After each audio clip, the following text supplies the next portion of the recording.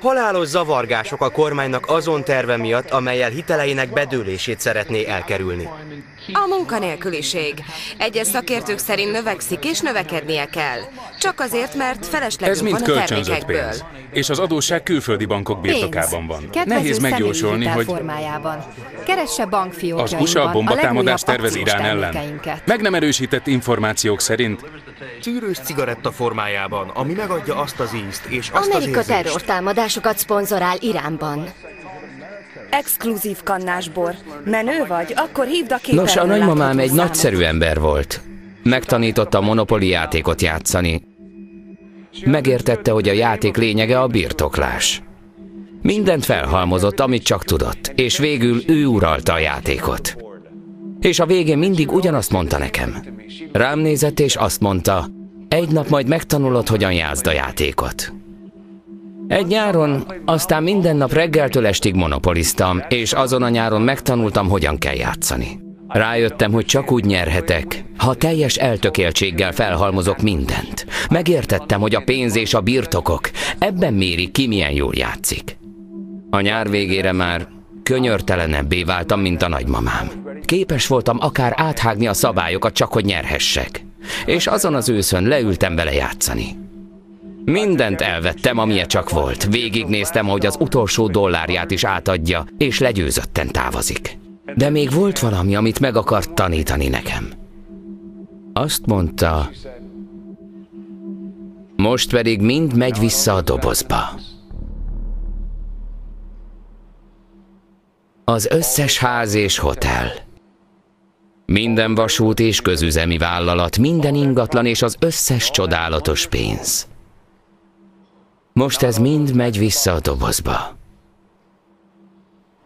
Semmi sem volt igazán a tiéd. Izgalomba hozott egy kis időre, de ez mind itt volt, mielőtt leültél az asztalhoz. És még utánad is itt lesz. Játékosok jönnek, játékosok mennek. Házak és autók. Címek és ruhák. Még a tested is. Mert az az igazság, hogy minden, amihez ragaszkodsz, amit elfogyasztasz vagy felhalmozol, az mind megy vissza a dobozba, és elveszítesz mindent. Szóval meg kell kérdezned magadtól, mikor végre megkaptad a nagy előléptetést, miután nyílbeütötted életed üzletét, mikor megvásároltad a tökéletes otthont, mikor megteremtetted a pénzügyi biztonságod és megmásztad a siker létráját a lehető legmagasabb fokig, és az izgalom elmúlik, mert el fog múlni. Akkor mi van? Milyen messze kell elmenned ezen az úton, hogy meglásd, hová vezet? Bizonyára belátod, hogy soha nem lesz elég. Szóval fel kell tenned magadnak a kérdést, mi az, ami számít?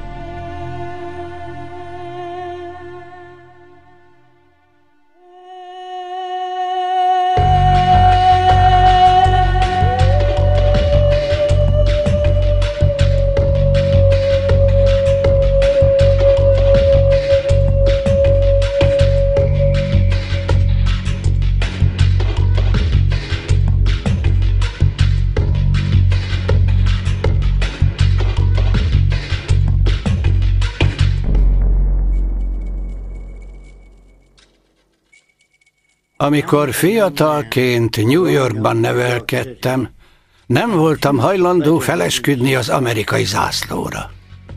Természetesen az igazgató irodájába küldtek, és ő megkérdezte, miért nem esküszöl fel a zászlóra. Mindenki megteszi. Azt válaszoltam, régen mindenki azt hitte a föld lapos, de ez nem tette lapossá. Azzal érveltem, hogy Amerika mindent más kultúráknak, más nemzeteknek köszönhet. Így én inkább tennék esküt a földnek és minden lakójának. Szükségtelen mondanom, hogy röviddel ezután végleg hagytam az iskolát. Egy labort állítottam fel a szobámban.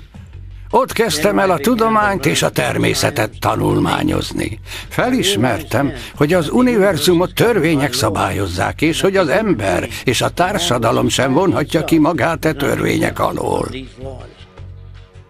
Aztán jött az 1929-es összeomlás, amit ma úgy hívunk a nagy gazdasági válság. Fel nem foghattam, hogy miért maradtak milliók munka és otthon nélkül. Éheztek, miközben az összes gyár ott volt. Az erőforrások nem változtak. Akkor jöttem rá, hogy a gazdaság játékszabályai eredendően hibásak. Röviddel ezután következett a második világháború, amelyben különböző nemzetek törekedtek egymás szisztematikus elpusztítására.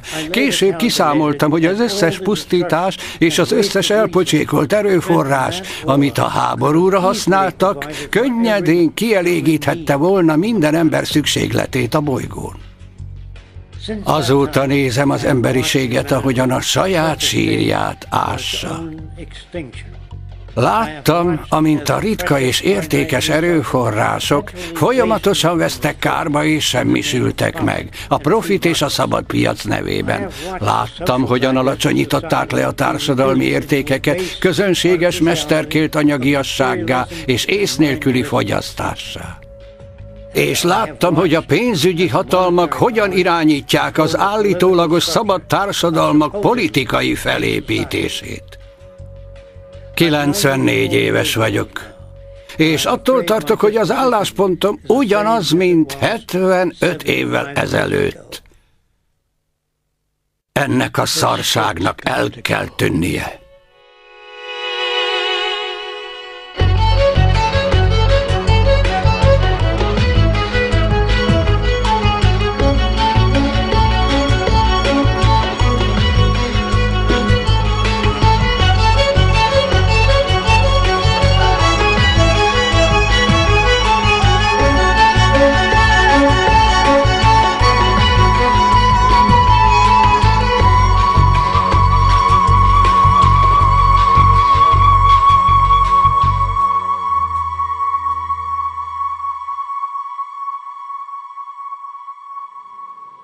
Tudós vagy, és valamikor az életed során elkerülhetetlenül beleverték a fejedbe, hogy a természet és a nevelés a viselkedést meghatározó két tényező, és ezek közt legalább akkora az ellentét, mint a Coca-Cola és a Pepsi, vagy a görögök és a trójaiak között. A természet és a nevelés ellentéte mostanra a végletekig leegyszerűsített magyarázata lett annak, hogyan vészel át egy sejt egy energiaválságot, de akár annak is, hogy mitől válunk azzá, akik vagyunk, beleértve személyiségünk legegyedibb szintjeit is.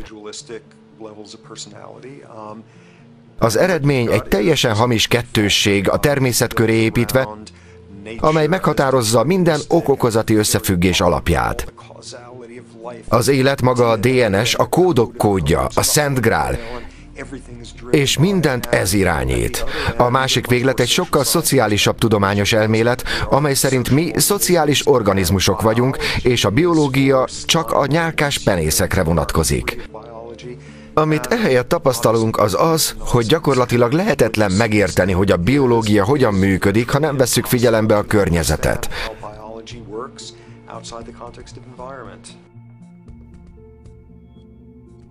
Az egyik legőrültebb, potenciálisan legveszélyesebb felfogás ez. Ó, ez a viselkedés a génekben van.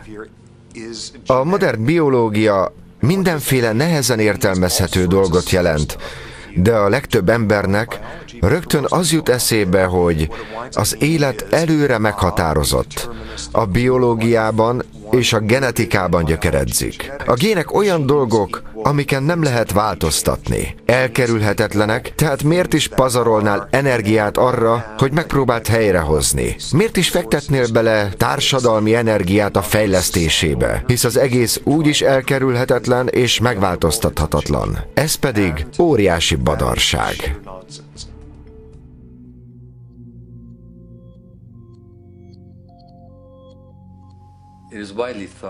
Széles körben elterjedt hiedelem, hogy az olyan betegségeket, mint a figyelemhiányos hiperaktivitás zavar gének okozzák, hogy a skizofrénia és hasonló problémák genetikai eredetűek. Épp ellenkezőleg. Semmi sincs genetikailag programozva. Vannak nagyon ritka betegségek, de nagyon kevés és nagyon ritkán fordulnak elő az emberekben, amelyek valóban genetikailag programozottak. A legtöbb komplex betegséghez rendelhető genetikai komponensek, amelyek hajlamossá tehetik az egyént az adott betegségre, de a hajlam nem ugyanaz, mint a predestináció. A betegségek okának a genomban való keresgélése kudarcra volt ítélve még mielőtt bárki egyáltalán gondolt volna rá, mert a legtöbb betegség nem genetikailag meghatározott. A szívbetegségek, rák, szélütés, reumás betegségek, autoimmunbetegségek általában, elmebetegségek, szenvedélybetegségek, egyikük sem genetikailag meghatározott. Az emlőrák esetében például 100 beteg közül csak 7 hordozza az emlőrák géneket. 93 nem. Nem mindenkiben alakul ki az emlőrák.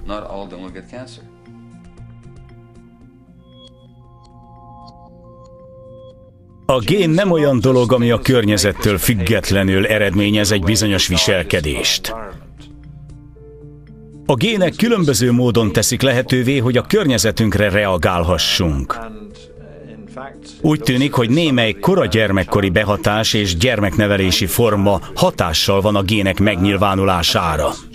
Valójában ki és bekapcsol különböző géneket, hogy egy másik fejlődési pályára állítson, ami illeszkedik az adott világhoz, amiben élned kell.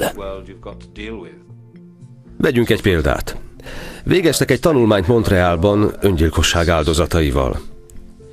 Boncolással megvizsgálták ezeknek az embereknek az agyát, és kiderült, hogy ha egy öngyilkost, aki általában fiatal felnőtt, gyerekkorában bántottak, ez a bántalmazás genetikai változást okozott az agyban, ami hiányzott azoknak az agyából, akiket nem bántottak.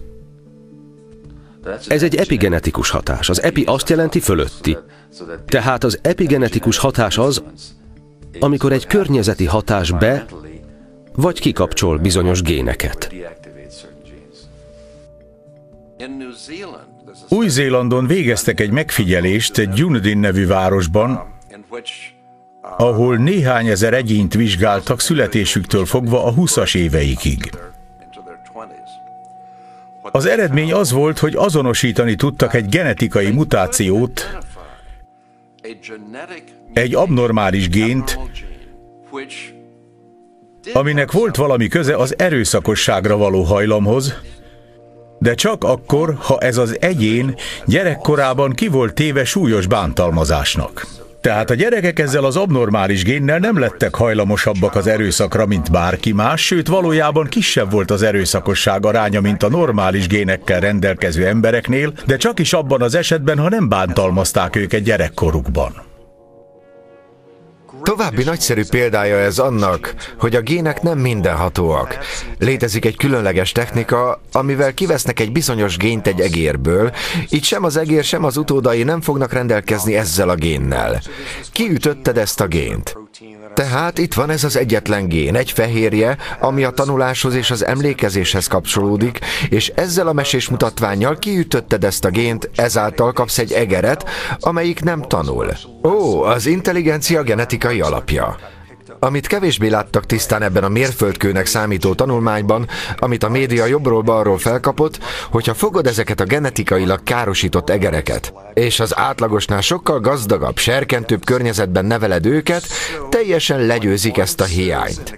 Úgyhogy ha valaki mai értelemben azt mondja, ó, ez a viselkedés a génekben van, már ha egyáltalán értelmezhető ez a kifejezés, akkor a következőt mondod. Genetikai hozzájárulás van abban, ahogyan a szervezetek reagálnak a környezetre.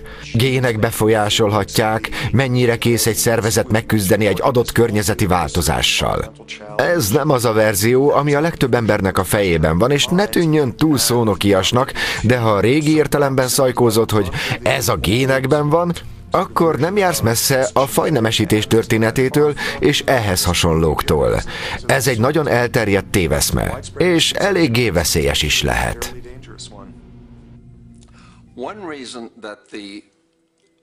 Egy ok, amiért az erőszak biológiai magyarázata, egy ok, amiért ez a feltevés potenciálisan veszélyes, nem csak félrevezető, hanem tényleg képes kárt okozni, mert ha elhiszed ezt, nagyon egyszerű azt mondanod, nos semmit sem tehetünk, hogy megváltoztassuk az emberek erőszakra való hajlamát.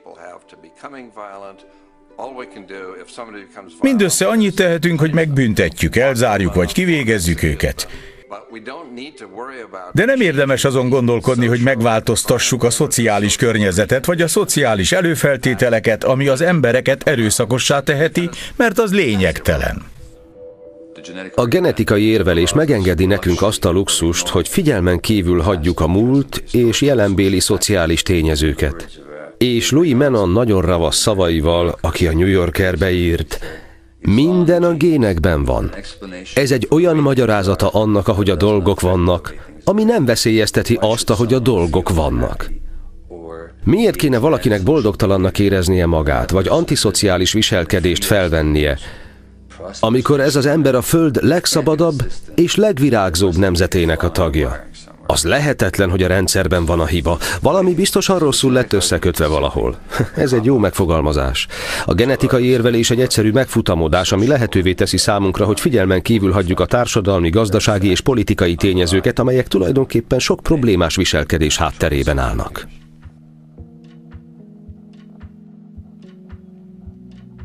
A függőségeket általában droggal kapcsolatos problémáknak tartják. De tágabb értelemben én úgy definiálom, mint bármely viselkedést, ami erős vágyjal és ideiglenes megkönnyebbüléssel jár, de hosszú távon negatív következményei vannak, és az önkontroll elvesztését eredményezi. Tehát a személy szeretné abba hagyni, vagy megígéri, hogy abba hagyja, de mégsem képes megtenni. Ha ezt megérted, akkor te is láthatod, hogy sokkal többféle függőség létezik, mint pusztán a drogfüggőség. Létezik munkamánia, vásárlási függőség, Internetfüggőség, játékfüggőség. Létezik hatalomfüggőség. Emberek, akiknek hatalmuk van, de egyre többet és többet akarnak, soha semmi nem elég nekik. Felvásárlás, vállalatok, amelyeknek muszáj, hogy egyre többet és többet birtokolhassanak. Az olaj iránti függőség, vagy legalábbis a vagyon és a termékek iránt, melyek az olaj miatt hozzáférhetőek. Nézd meg a negatív környezeti következményeket. Elpusztítjuk azt a földet, amin élünk, csak azért, hogy kielégítsük ezt a függőségünket. Manapság ezek a függőségek már sokkal károsabbak a szociális következményeikben, mint a kokain vagy heroin függősége a betegeimnek, akiket Eastside belvárosában kezelek. Ám ezek mégis jutalmazott és tiszteletre méltónak tartott függőségek. A dohányvállalat vezetője, aki magasabb profitot mutat fel, sokkal nagyobb jutalmat kap. Neki nem kell törvényi vagy bármilyen más negatív következményekkel szembenézni néznie. Sőt, valójában nagy tiszteletben álló tagja több más vállalat igazgató tanácsának is. Ellenben a dohányfüsthöz kapcsolódó betegségek 5,5 millió embert ölnek meg évente világszerte. Az Egyesült Államokban ez a szám 400 ezer. És milyen függőségük van ezeknek az embereknek? Profit függőségük. Olyan mértékű a függőségük, hogy tagadják cselekedeteik másokra gyakorolt hatását, ami tipikus a szenvedélybetegeknél, a tagadás. És ez egy tiszteletreméltó dolog. Tiszteletreméltó a profit iránti függőség, nem számít mi az ára. Tehát, hogy mi az elfogadható és tiszteletreméltó, az egy roppant önkényes jelenség a társadalmunkban, és úgy tűnik, hogy minél nagyobb kárt okoz, annál tiszteletreméltóbb a függőség.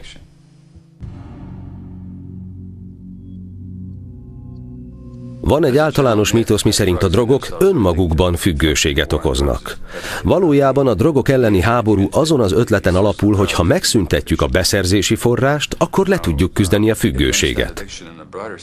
Nos, ha tágabb értelemben tekintünk a függőségre, akkor láthatjuk, hogy önmagában semmi sem okoz függőséget. Nincs olyan anyag, nincs olyan drog vagy viselkedés, ami önmagában függőséget okozna. Sokan mennek el vásárolni anélkül, hogy boltkórossá válnának. Nem mindenki lesz ételfüggő vagy alkoholista. Az igazi probléma, ami igazán kiteljesedetté teszi a függőséget, amikor egy függőségre hajlamos egyén találkozik egy potenciálisan függőséget okozó szerrel vagy viselkedéssel. Röviden, nem a drog az, ami függőséget okoz, hanem az egyén fogékonysága okozza a függőséget arra a bizonyos anyagra vagy viselkedés formára. Ha szeretnénk megérteni, mi teszi az embereket fogékonyá, akkor az élettapasztalatokat kell vizsgálnunk. A régi felfogás, bár régi, de még mindig széles körben fenntartott, hogy a függőségeknek genetikai okai vannak, tudományosan egyszerűen fenntarthatatlan. A valódi magyarázat az, hogy bizonyos élettapasztalatok teszik az embert fogékonyá. Tapasztalatok, amelyek nem csak az ember személyiségét és pszichológiai szükségleteit alakítják, hanem bizonyos módon az agyat is. És ez a folyamat a mélyben kezdődik.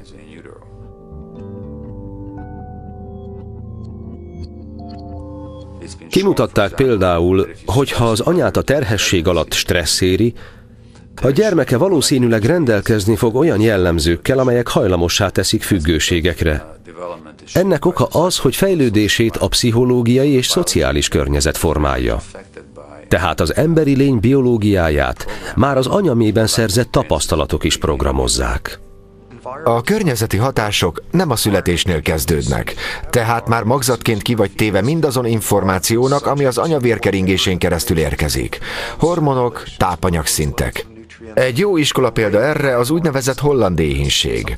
Amikor a nácik elfoglalták Hollandiát, bizonyos okokból úgy döntöttek, hogy elviszik az összes ételt Németországba.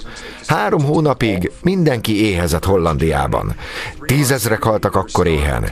Mi a holland éhínség effektus?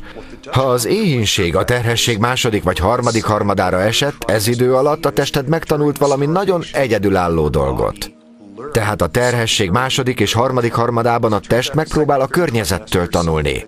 Mennyire fenyegető a világ odakint? Mennyire bőséges? Mennyi tápanyagot kapok az anya vérkeringésén keresztül? Ha éhező magzat voltál abban az időben, a tested örökké arra lesz programozva, hogy nagyon-nagyon zsugori legyen a cukorral és zsírral, és raktározzon el minden kis darabot belőle. Ha a holland éhínség idején magzat voltál, fél évszázaddal később, azonos körülmények között, sokkal valószínűbb, hogy magas lesz a vérnyomásod, túlsúlyosságra és anyagcsere zavarra hajlamos leszel. Ez nagyon, nagyon meglepő környezeti hatás. Ha egy laboratóriumban vemhes állatokat stresszelnének, akkor a kölykeik nagy valószínűséggel kokaint és alkoholt fogyasztanának felnőttként. Érvényes ez az emberi anyákra is. Egy brit tanulmányban a terhesség alatt erőszakot átélt anyáknak a szülés idején magasabb a kortizol nevű stresszhormon szintjük a mélepényben, és gyermekeik nagyobb valószínűséggel kerülnek olyan állapotba, amely hajlamossá teszi őket függőségekre 7-8 éves korukra. Tehát a mélybeli stressz már előkészíti a fegyvert mindenféle mentális betegségre. Egy izraeli tanulmány készült olyan anyák gyermekeiről, akik az 1967-es háború kezdete előtt voltak terhesek. Ezek a nők természetesen nagy stressz alatt álltak, és a gyermekeik nagyobb számban szenvednek skizofréniában, mint az átlag népesség. Tehát számos bizonyíték van arra, hogy a születés előtti behatások nagy mértékben befolyásolják az emberi lény fejlődését.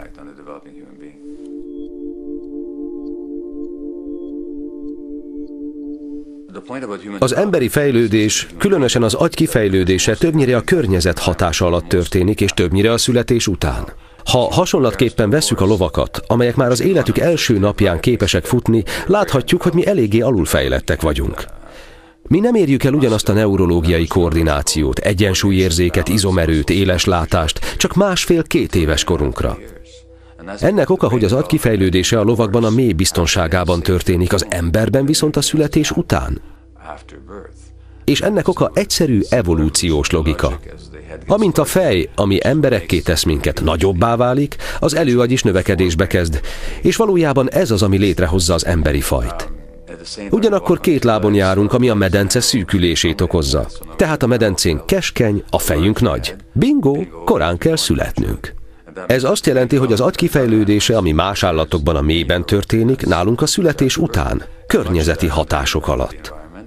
A neurális darwinizmus fogalma egyszerűen azt jelenti, hogy azok az áramkörök, amelyek megfelelő bemenetet kapnak a környezetből, optimálisan fejlődnek ki. Amelyek viszont nem, azok nem optimálisan, vagy esetleg egyáltalán nem fejlődnek ki. Ha egy újszülött gyermeket, aki egészséges szemekkel született 5 évig egy teljesen sötét szobában nevelsz, vak lesz az élete hátralevő részére, mert a látás áramköröknek fényre van szükségük a kifejlődéshez. És anélkül még a születéskori kezdetleges áramkörök is végleg elsorvadnak, és helyettük újak sem fejlődnek ki.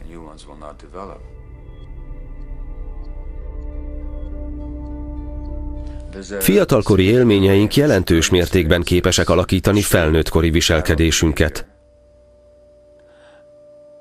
Különösen a korai élmények, melyeknél tudatos memóriánk még nincs kifejlődve.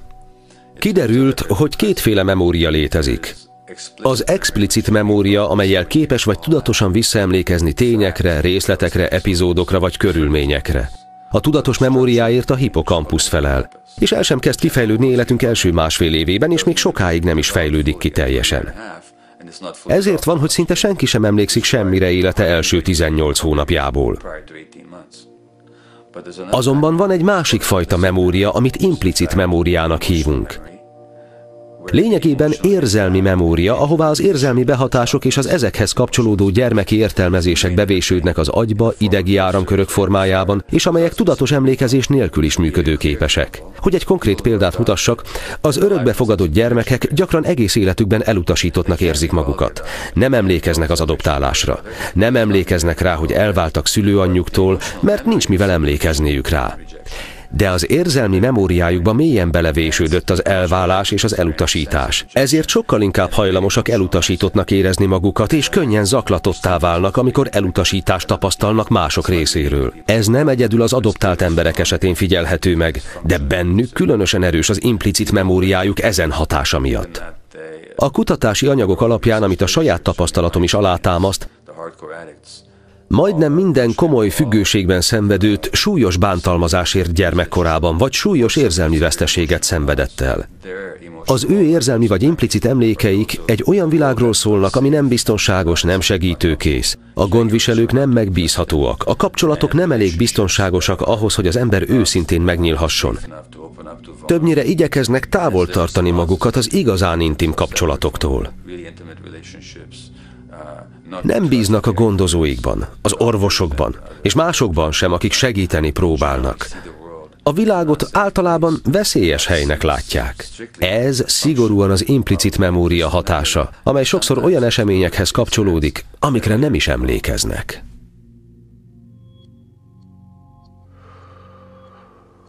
A koraszülött gyermekek gyakran inkubátorban vagy egyéb szerkentyűkben és gépekben tartózkodnak hetekig, esetleg hónapokig. Ma már tudjuk, hogy ha ezeket a gyermekeket megérintik, vagy megsimogatják a hátukat, akár csak 10 percre egy nap, az elősegíti az agyuk fejlődését. Szóval az emberi érintés a fejlődés egy hozzávalója, és tulajdonképpen azok a gyerekek, akiket sohasem vesznek karba, meghalnak. Ennyire alapvető szüksége az embernek a karbavétel. Társadalmunkban egy sajátos tendencia mutatkozik, miszerint a szülőknek azt javasolják, ne vegyék karjukba a gyermeket. Ne vegyék fel a síró gyermeket, nehogy elkényeztessék, és inkább vegyék rá, hogy átaludja az éjszakát, mint hogy a karjukba vegyék. Ami pontosan az ellentéte annak, amire a gyermeknek szüksége van. És bár ezek a gyermekek idővel visszaalszanak, mert feladják, és az agyuk egyszerűen kikapcsol, így védekezve azzal a veszélyhelyzettel szemben, hogy tényleg magukra hagyták őt a szülei, az érzelmi memóriájukban az rögzül, hogy a világ fütyül rájuk. Rengeteg ilyen különbség rögzül az élet korai szakaszában. Bizonyos értelemben a szülők saját tapasztalataikat örökítik át gyermekeikre arról, hogy milyen nehéz vagy könnyű az élet, akár az anya depresszióján keresztül, vagy mert a szülők könnyen dühösek lesznek a gyerekre, mert nehéz napjuk volt, vagy csak túl fáradtak a nap végére. És ezek nagyon erős programozó hatással vannak a gyermekek fejlődésére, amiről ma már sokat tudunk. De ez a fiatalkori érzékenység nem evolúciós hiba. Számos különböző fajnál megfigyelhető. Még a palánták esetében is van egy korai alkalmazkodási szakasz a környezethez, amelyben felnőnek, de az emberek a társadalmi viszonyokhoz is alkalmazkodnak. És így az élet korai szakaszában, amennyi gondoskodás és konfliktus ér, amennyi figyelmet kapsz, mind kóstolót nyújt számodra a világból, amiben fel fogsz nőni. Egy olyan világban nősz majd fel, ahol meg kell küzdened mindenért. A létbizonytalanság, közöny és bizalmatlanság légkörében? Vagy egy olyan társadalomban fogsz felnőni, ami a kölcsönösségen, az együttműködésen, az empátián alapszik, ahol a biztonságod a másokkal való jó kapcsolatodon múlik? A választól függően az érzelmi és tudati fejlődésed igen különböző lehet. És ez a fiatalkori érzékenység lényege, a nevelés pedig egy szinte egészen öntudatlan módja a tapasztalatok átörökítésének, amik arról szólnak, hogy milyen világban élünk. Az elismert brit gyermekpszichiáter D.W. Wincott szerint lényegében két dolog fordulhat rossz irányba gyermekkorban.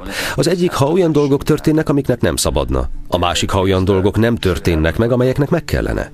Az első kategóriában az Eastside-i betegeim és számos szenvedélybeteg által megtapasztalt trauma, erőszak és elhagyatottság tartozik. Ezek azok a dolgok, amiknek nem kellett volna megtörténniük. De emellett ott van a stresszmentes, egymásra hangolt, törődő figyelem a szülők részéről, amire minden gyermeknek szüksége van, de nagyon gyakran nincs jelen. Nem bántalmazzák, nem hanyagolják el őket, és nem sérülnek lelkileg. De amire szükségük volna, egy gondoskodó szülő érzelmi jelenléte egyszerűen hiányzik a társadalmunkban lévő feszültségek miatt és a nevelés körülményeiből kifolyólag. A pszichológus Ellen Serer proximális elhagyatottságnak nevezi, ha a szülő fizikailag jelen van, de az érzelmei máshol vannak. Az elmúlt nagyjából 40 évben a társadalmunk legerőszakosabb tagjaival foglalkoztam. Gyilkosokkal, nemi erőszaktevőkkel, stb. Azzal a szándékkal, hogy megértsem, mi okozza ezt az erőszakot. Arra jutottam, hogy börtöneink legerőszakosabb bűnözői maguk is áldozatai voltak a gyermekkori bántalmazás olyan fokának, amely túltesz mindenen, amit valaha is hinni mertem volna. Elképzelésem sem volt arról a nagyfokú gonoszságról, melynek jelenlegi társadalmunk gyermekei gyakran kivannak téve. A legerőszakosabbak, akikkel találkoztam, maguk is gyilkossági kísérlet túlélői voltak, amelyet sokszor a saját szüleik kíséreltek meg ellenük, vagy át kellett élniük, ahogy szemük láttára gyilkolják meg más emberek a családtagjaikat. Buddha úgy érvelt, hogy minden mindennel összefügg. Azt mondta, az egyben ott a sok, és a sokban ott az egy. Nem érthetsz meg semmit a környezetből kiragadva. A falevél nyilvánvalóan tartalmazza a napot, az eget és a földet. Ez persze ma már minden területen igaznak bizonyult, különös tekintettel az emberi fejlődésre.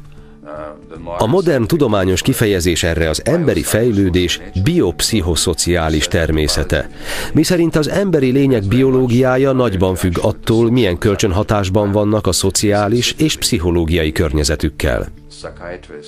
A Kaliforniai Egyetem pszichiátere és kutatója Daniel Siegel hozta be a köztudatba az interpersonális neurobiológia kifejezést, ami azt jelenti, hogy az idegrendszerünk megfelelő működése nagy mértékben múlik a személyes kapcsolatainkon.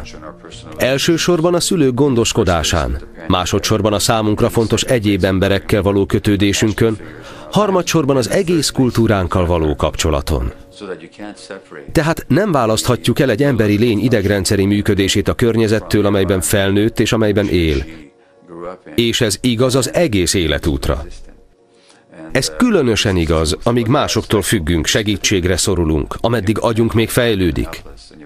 De éppen ugyanígy igaz a felnőttekre, még az életük végén is.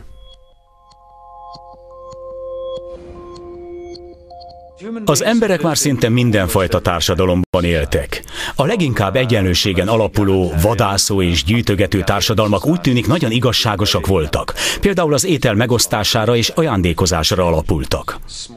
Emberek kis közössége, akik főleg gyűjtögetésből, kevés vadászatból éltek, olyan emberek közt, akiket egész életükben ismertek, harmadfokú unokatestvérekkel, közelebbi rokonokkal körülvéve, egy világban, amelyben nagy az átjárhatóság a különböző csoportok közt, ahol az anyagi kultúra nem sok mindent foglal magába. Ilyen körülmények közt élt az emberiség a kezdetekkor. Természetesen ez egy egész más világot jelentett. Ennek egyik következménye, hogy jóval kevesebb erőszak volt.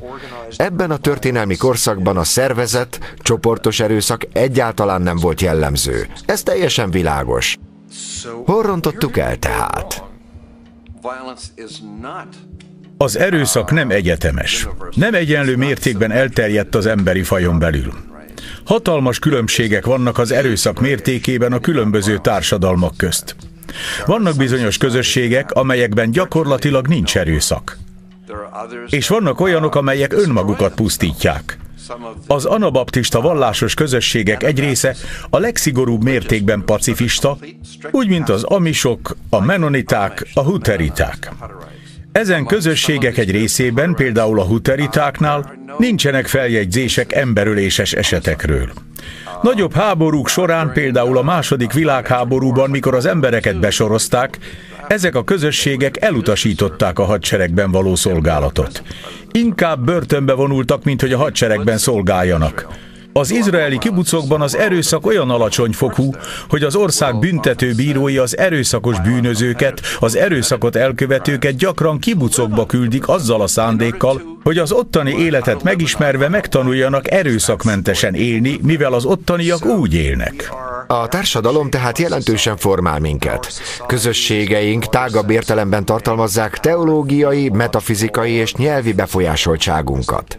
Segítenek kialakítani nézeteinket arról, hogy az élet alapvetően bűnről vagy szépségről szól-e. Azt, hogy vajon a túlvilágon megfizetünk-e azért, ahogyan életünket éltük, vagy mindez lényegtelen. Átfogóbb módon a különböző nagyobb társadalmakat jellemezhetjük individualistaként vagy kollektivistaként, melyek merőben más embereket alakítanak ki, más gondolkodásmódokat, és gyanítom, hogy ezzel együtt eltérő agyszerkezetet is. Mi amerikaiak az egyik legénközpontúbb társadalomban élünk. A kapitalizmus egy olyan rendszer, amely lehetővé teszi számodra, hogy a társadalmi piramis egyre magasabb fokaira lépj, ami viszont egyre kevesebb biztonsági védőhálóval jár.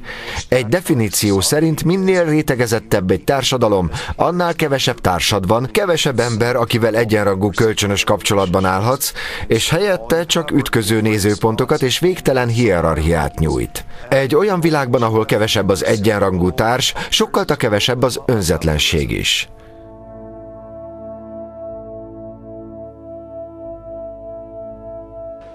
Így jutunk el egy igen ellentmondásos kérdéshez, ha a tudomány módszerével próbáljuk megmagyarázni, milyen is az emberi természet. Egy bizonyos szinten természetünk már különösebben nem korlátoz minket. Társadalmilag sokkal változatosabbak vagyunk, mint bármely más faj. Változatosak a hitrendszerek, a családszerkezetek, a gyereknevelési módok. Rendkívüli kapacitásunk van a sokrétűségre. Társadalmunk a versengésre épül. Egyik embernek a másik általi könyörtelen kizsákmányolására, a mások problémáiból való haszonhúzásra. Arra, hogy problémákat hozunk létre, hogy ezekből azután hasznot húzzunk. Az uralkodó ideológiák gyakran azzal indokolják ezt a fajta viselkedést, hogy valamely alapvető és megváltoztathatatlan emberi természetre hivatkoznak. A mi társadalmunk mitosza az, hogy az ember természeténél fogva versengő, különc és önző. A valóság pont ennek az ellentéte. Vannak bizonyos emberi szükségleteink. Csak úgy beszélhetsz az emberi természet konkrétumairól, ha felismered, hogy az embernek valós szükségletei vannak. Szükségünk van társaságra, közeli kapcsolatokra, szeretetre, kötődésre, elismerésre, arra, hogy észrevegyenek és elfogadjanak bennünket. Ha e szükségleteket kielégítjük, együttérző, együttműködő emberekké válunk, olyanokká, akik másokra is tekintettel vannak. Társadalmunkban gyakran épp ennek ellenkezőjét látjuk. Az emberi természet eltorzulásának pontosan az az oka, hogy csak kevés ember elégítheti ki szükségleteit. Szóval beszélhetünk emberi természetről, de csak abban az értelemben, mint alapvető ösztönös emberi szükségletek kielégítéséről. Vagy úgy is mondhatnám, hogy azon emberi szükségletekről, amelyeket ha kielégítünk, bizonyos jellemvonásokat eredményeznek, míg ha nem, akkor másféle jellemvonásokat. Tehát, amikor felismerjük, hogy az emberi szervezet egyrészt képes rugalmasan alkalmazkodni, hogy életben maradjon különböző környezeti hatások közt, másrészt feltétlenül szüksége van bizonyos környezeti feltételek meglétére, vagy emberi szükségletek kielégítésére, kialakul a társadalommal szembeni követelményrendszer. Épp úgy, ahogy a testünknek szüksége van fizikai tápanyagokra, az emberi agy pozitív környezeti ingerekre tart igényt, a fejlődés minden szakaszában, miközben védelemre is szüksége van az egyéb negatív ingerületekkel szemben. És ha olyan dolgok, melyek szükségesek, nem történnek meg, vagy melyeknek nem szabadna megtörténniük, mégis megtörténnek, akkor látható, hogy ezzel nem csak a fizikai és szellemi betegségek ajtaja nyílik ki, hanem minden romboló jellegű emberi viselkedésé is. Tehát, ahogy a tekintetünket kifelé fordítjuk, és számba veszük a mai állapotokat, fel kell tennünk a kérdést. Ez az állapot, amit mi létrehoztunk a modern világban, valóban támogatja az egészségünket? A társadalmi és gazdasági rendszerünk alapkövei pozitívan hatnak-e az emberi és közösségi fejlődésre? Vagy társadalmunk alappillérei valójában épp szemben állnak az egyéni és közösségi jólét létrehozásához és fenntartásához szükséges evolúciós követelményekkel?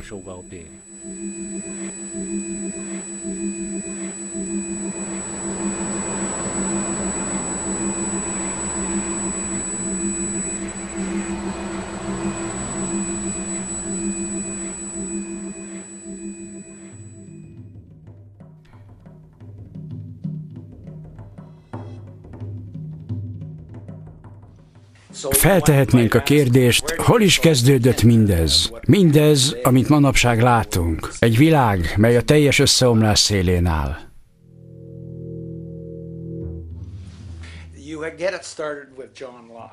Kezdjük John Locke-kal. John Locke vezette be a tulajdon fogalmát. Szerinte három feltétele van egy igazságos magántulajdonrendszernek. Ezek a következők. Mások számára is hagynod kell elegendőt. Ne hagyd, hogy kárba vesszen. Mindenek előtt munkád befektetésével formálsz jogot tulajdonodra. Indokoltnak tűnik, fektesd munkád a környezetedbe, és akkor jogod lesz verejtéked gyümölcsére. Mindaddig, míg másoknak is marad elég, és amíg nem herdálod el, és nem hagyod, hogy bármi is kárba vesszen, addig minden rendben. Sok időt fordított erre, és híres értekezésére a kormányzatról. Azóta is ezt a klasszikus szöveget oktatják. Érvelésének kézenfekvősége és ereje sikeresen megvédte a magántulajdon általa vázolt formáját. Aztán hirtelen mégis szétzúzza. Szétzúzza az egész ötletet egyetlen mondattal, amikor azt mondja, mikor a pénz belépett az emberek hallgatólagos beleegyezésével. Nem állítja, hogy az alaptételeit visszavonná, vagy eltörölni. Mégis ez történik. Tehát ettől fogva már nem beszélhetünk munka befejeztével megérdemelt tulajdonról. Nem ám, hiszen pénzzel kiváltható a munka. Már nem szükséges mérlegelni, vajon marad-e elegendő a többiek számára. Nincs szükség firtatni kárba vésze, ugyanis szerinte a pénz olyan, mint az ezüst vagy az arany, az arany pedig nem megy tönkre. E logika mentén a pénz nem tehető felelőssé a pazarlásért. Nevetséges. Nem pénzről és ezüstről beszélünk, hanem azok kihatásairól. Egyik logikai bukfenc a másik után. Csupán elképesztő logikai bűvészmutatványokat vonultat fel, azonban ez pontosan megfelel a tőkések érdekeinek. Aztán jön Adam Smith, és mit tesz hozzá? A vallást. Lak azzal indított, hogy mindez Isten műve, mindez Isten törvénye. Aztán jön Smith, és azt mondja, nem csak Istené. Nos, ki ugyan nem mondja, de filozófiájában pontosan erről van szó. Alapvetően azt állítja, hogy ez nem csak magántulajdon kérdése. Szerinte mindez eredendően létezik, adott. Ott vannak a befektetők, akik megvásárolják a munkaerőt, adott. Hogy mennyi munkaerőt képesek megvásárolni, annak nincs felső korlátja. Hogy mennyit képesek felhalmozni, mekkora az egyenlőtlenség, ez már mind adott. Aztán egyszer csak jön a nagy ötletével, melyet mellesleg csak zárójelek közt futólag említ. Tudod, hogy vannak emberek, akik javakat adnak el, ez a kínálat. És más emberek megvásárolják-e javakat, ez a kereslet. De hogyan fog a kínálat egyezni a kereslettel, vagy a kereslet a kínálattal? Hogyan alakul ki az egyensúly közöttük? És ez a közgazdaságtan egyik központi elmélete, hogy az egyensúly hogyan alakulhat ki. És erre azt mondja, a piac láthatatlan keze az, amely az egyensúlyt kialakítja. Ott tartunk tehát, hogy Isten részese az egésznek. Épp csak nem adott jogot a tulajdonhoz, meg az összes hóbelevanchoz, és a lakáltal említett természetes jogokhoz. És már is ott tartunk, hogy maga a rendszer Isten. Smith valójában azt mondja, és végig kell olvasnod az egész nemzetek gazdaságát, hogy megleld az idézetet, azt mondja, a léthez szükséges javak szűkössége gátat szab a szegények szaporodásának, és a természet ezt csak oly módon tudja kezelni, ha elpusztítja azok gyermekeit. Tehát a lehető legrosszabb értelemben tapintott rá az evolúciós elméletre jócskán Darwin előtt, és elnevezte ezt a fajt munkásosztálynak. Látható, hogy ebben eredendően benne rejlik egyfajta rasszizmus, egyfajta elvakultság, melynek köszönhetően már az élet és számtalan gyermek halála sem számít. Azt gondolta, a láthatatlan kéz így gondoskodik a kereslet és kínálat találkozásáról. Látott tehát milyen bölcs Isten? Megfigyelhetjük, hogy számos rossz indulatú életet és életteret tömegesen pusztító dolog játszódik le, amely valamilyen formában Smith gondolatgényét hordozza. Amikor az úgynevezett szabadpiac eredeti elképzeléséről elmélkedünk, vagyis a tőkés rendszerről, ahogy azt a korai gazdasági filozófusok, mint Adam Smith megteremtették, azt látjuk, hogy a piac eredeti célja a valós, kézzel fogható, fennmaradást biztosító javak kereskedelmére alapul. Adam Smith nem is sejthette, hogy a bolygó legjövedelmezőbb gazdasági szektora végül a pénzpiaci kereskedelm arénája, az úgynevezett befektetési piac lesz, ahol a pénzünket más pénzek ára áramoltatásával gyarapíthatjuk egy önhatalmú játékban, melynek produktív haszna a társadalom számára egyenlő a nullával. Függetlenül Smith eredeti szándékától, elméletének egy alapvető tana nyitotta meg a kaput az efféle rendellenes jelenségek számára. Az, hogy magát a pénzt árucikként kezeljük. Napjainkban, szociális berendezkedéstől függetlenül a világ minden gazdaságában a pénzt csupán a pénz érdekében hajszolják. Semmi másért. Az alapötlet, amelyet Adam Smith a láthatatlan kéz vallási kinyilatkoztatásával oly titokzatosan megfogalmazott, az, hogy a képzeletbeli árucik szűklátókörű, öncélú hajszolása varázslatos módon emberi és társadalmi jólétet és haladást fog eredményezni. Valójában a pénzügyi ösztönzés érdeke, melyet egyesek úgy emlegetnek, pénzértékteremtés, már a teljesen elszakadt az alapvető lét érdekeitől, melyet úgy is nevezhetünk, hogy létértékteremtés. Mára e két fogalmat illetően teljessé vált az űrzavar a gazdaságtanban. Úgy gondolják, hogy az életértékteremtés, a pénzértékteremtés következménye, éppen ezért állítják azt, hogy ha nő az értékesítés, ha növekszik a GDP és így tovább, az javítja az emberek jólétét. És következésképpen úgy tekinthetnénk a GDP-re, mint a társadalmi jólét mutató számára. Nos, az űrzavar itt érhető tetten. Itt a pénz értékteremtésről beszélnek, vagyis a javak eladásából származó összes pénzbevételről és kiadásról, és ezt összetévesztik az élet által teremtett értékekkel. Tehát a rendszerek megalakulása óta alapvető része a pénz és életértékteremtés fogalmainak teljes összemosódása. Egyfajta struktúrált téveszmével van dolgunk, mely egyre pusztítóbbá válik, ahogyan a pénzértékteremtés elválik mindenfajta termeléstől. Ez tehát a rendszer hibája, és végzetesnek tűnik.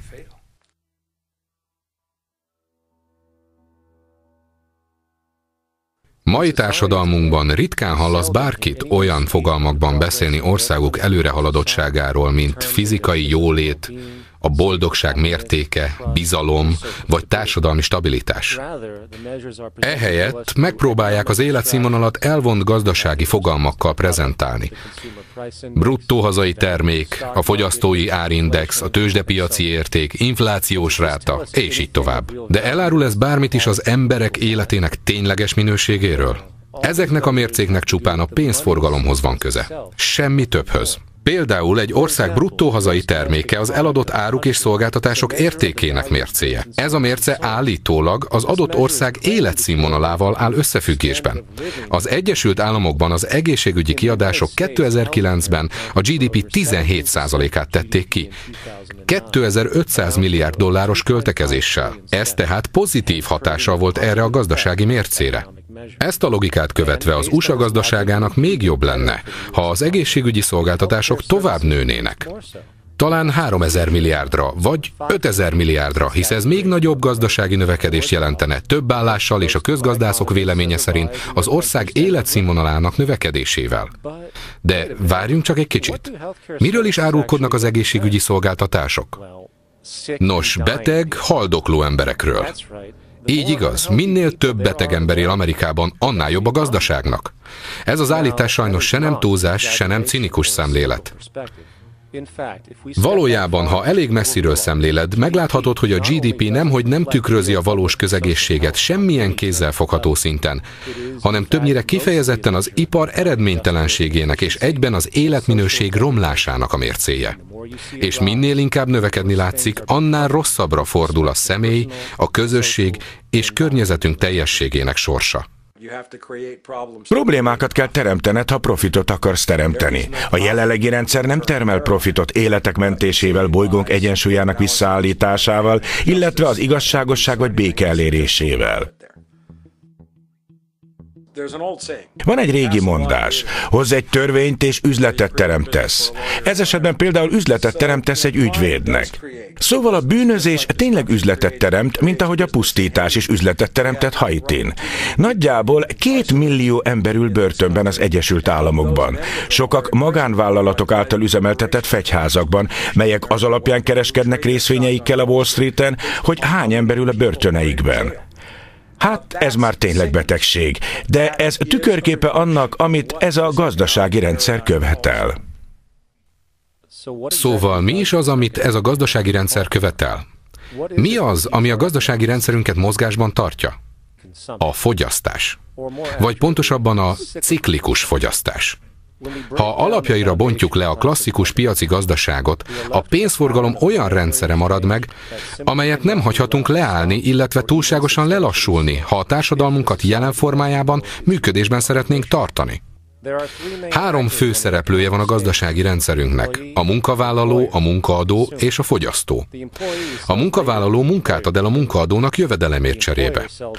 A munkaadó pedig a kitermelt szolgáltatásait, javait adja el a fogyasztónak jövedelem fejében. A fogyasztó természetesen csak egy másik szerepe a munkaadónak és a munkavállalónak, akik így forgatják vissza a pénzt a rendszerbe, lehetővé téve a ciklikus fogyasztás folytatását.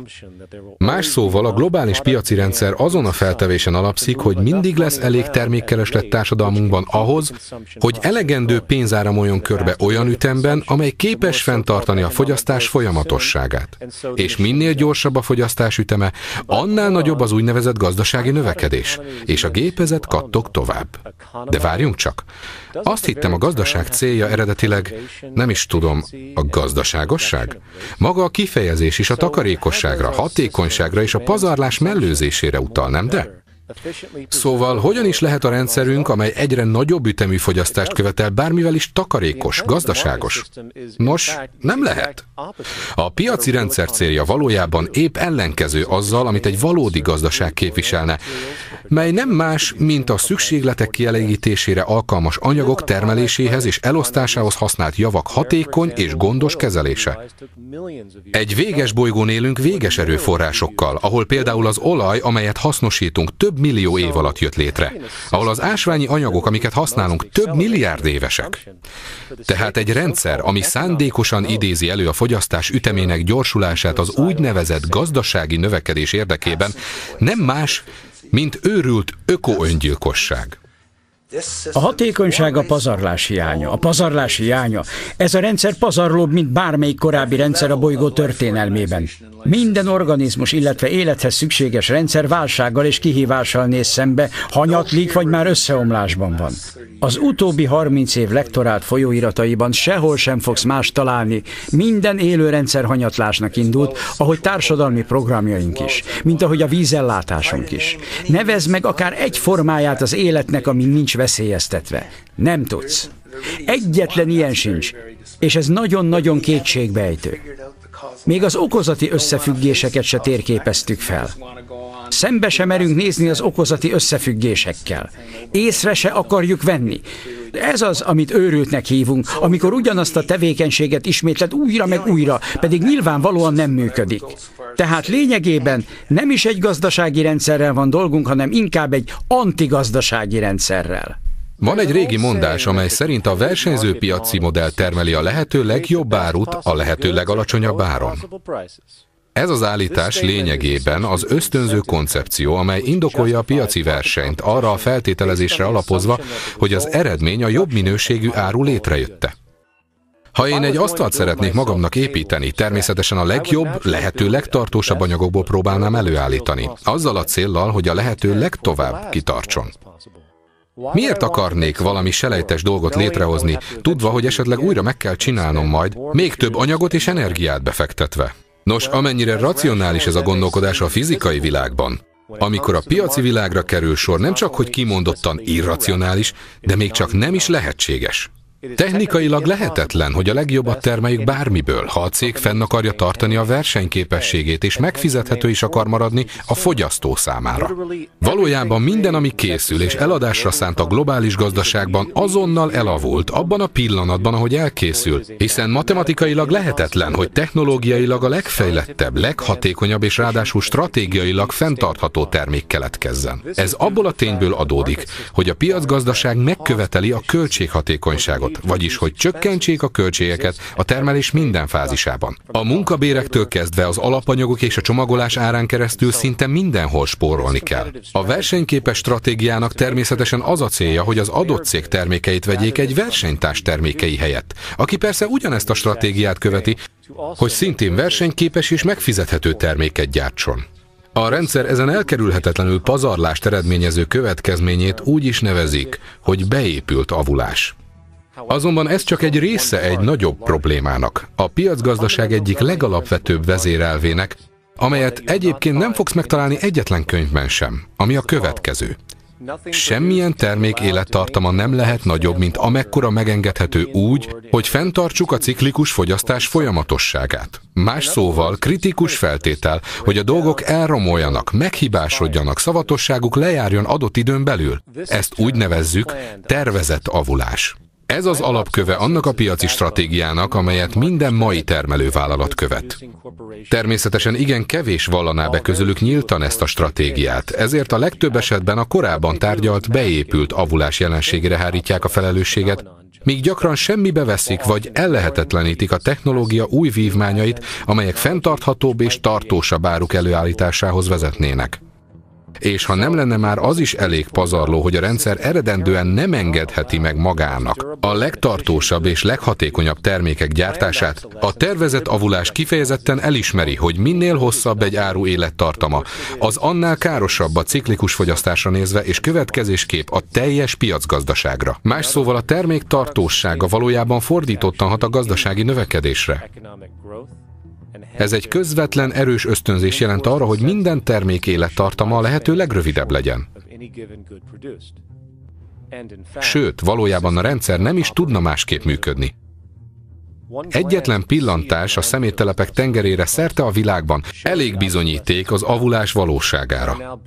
Mára már milliárdnyi olcsón előállított mobiltelefon, számítógép és egyéb technológiai cikk, mint tele értékes és nehezen bányászható nyersanyagokkal, mint az arany, koltán és réz, rothat hatalmas kupacokban, általában kis alkatrészek meghibásodása, elavulása miatt, amelyek egy fenntartható társadalomban könnyen javíthatóak vagy frissíthetőek lennének, és így élettartamuk meghosszabbíthatóvá válna. Sajnos bármennyire is hatékonynak tűnik ez a fajta megközelítés számunkra, egy véges erőforrásokkal rendelkező bolygón élve, a piacgazdaság szempontjából ez kifejezett ellentéte a hatékonyságnak. Egy mondatba foglalva, a hatékonyság, fenntarthatóság és takarékosság a gazdasági rendszerünk ellenségei.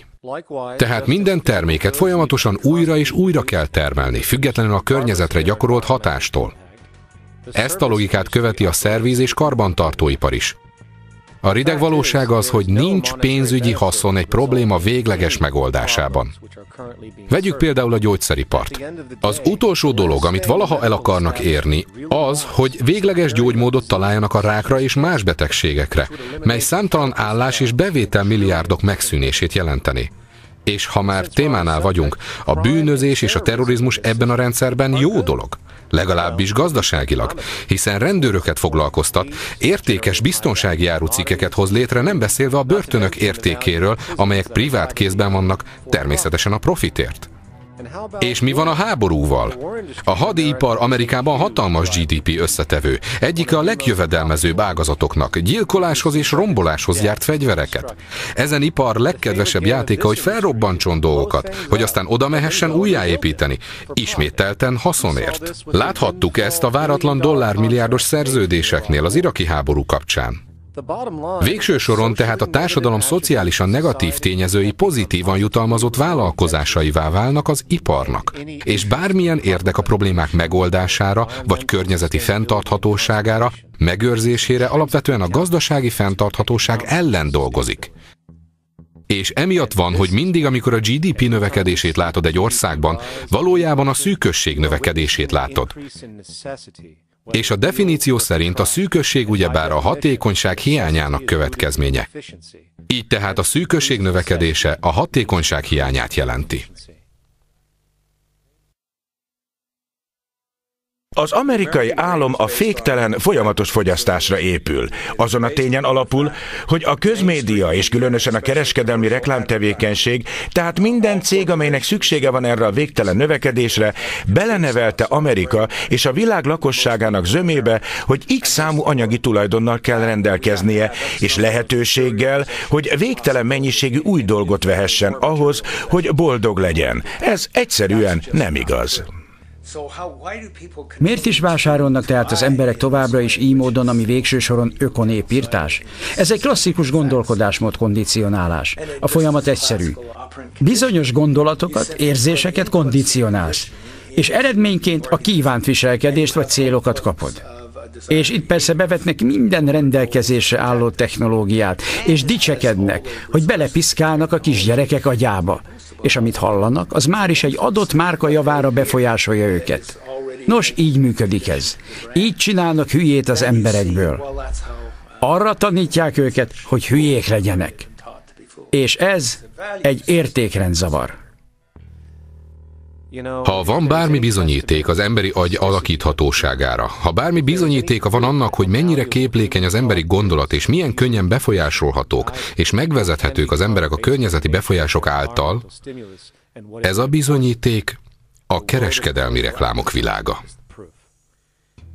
Csak bámulni tudod, milyen szintre jutott ez az agymosás amikor ezek a programozott robotok, akiket fogyasztóknak hívunk, vándorolnak a világunkban, csak hogy betérjenek egy boltba és elköltsenek mondjuk 4000 dollárt egy táskára, amelyet valószínűleg 10 dollárba került elkészíteni egy embertelen üzemben a tengeren túlon. Csak amiatt a márka image miatt, amelyet állítólag képvisel a kultúránkban. Vagy nézzük, mit tettek az ősi közösségi hagyományokkal, amelyek célja a bizalom és az összetartás erősítése volt. Eltérítették ezeket. Nyereséghajház, anyagias értékeket neveltek belénk, így évente bizonyos napokon haszontalan kacatok tömkelege cserél gazdát. És még csodálkozunk, hogy manapság miért függenek annyian a vásárlástól és a tulajdonszerzéstől, amikor tiszta sor, hogy már gyerekkoruk óta arra kondicionálják őket, hogy várják az anyagi javakat, a családi és baráti körben betöltött státuszuk jeleként. Tény, hogy bármely közösség alapkövei azok az értékek, amelyek támogatják a működését, ám a mi közösségünk, ahogyan most létezik, csak úgy tud működni, ha az értékeink támogatják a kiugró fogyasztást, amelyet megkövetel a piacgazdaságunk. 75 évvel ezelőtt a fogyasztás Amerikában és a nyugati társadalmakban fele annyi volt, mint amit ma látunk fejenként. A mai idők új fogyasztói kultúrája mesterségesen lett kialakítva, az egyre nagyobb és nagyobb mértékű elengedhetetlen fogyasztás érdekében. És ezért költ a legtöbb cég mostanában több pénzt reklámra, mint amennyibe a termék létrehozása kerül. Szorgalmasan dolgoznak, hogy hamis hiányérzetet keltsenek benned, amit aztán kitölthetnek. És sikerül nekik.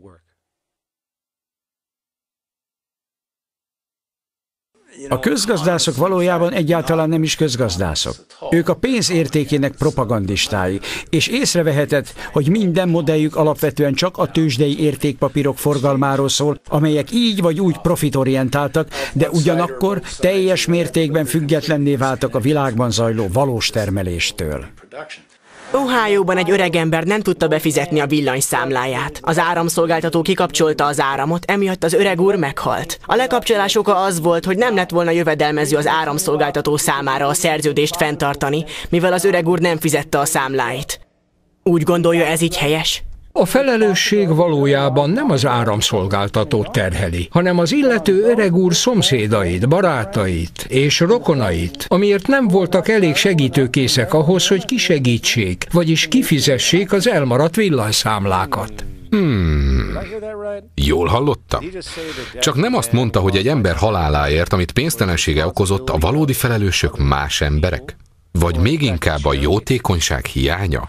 Nos, ebben az esetben szükségünk lesz egy csomó felvilágosító reklámra, adományokra, malacperselyek tömkelegére, és egy halom befőttes üvegre. A milliárdnyi éjségtől haldokló ember megmentésére. Mert ugye Milton Friedman rendszere ezt hirdeti.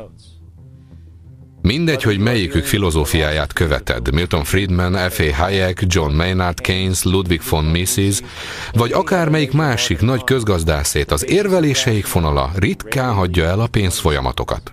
Olyan ez, mint egy vallás.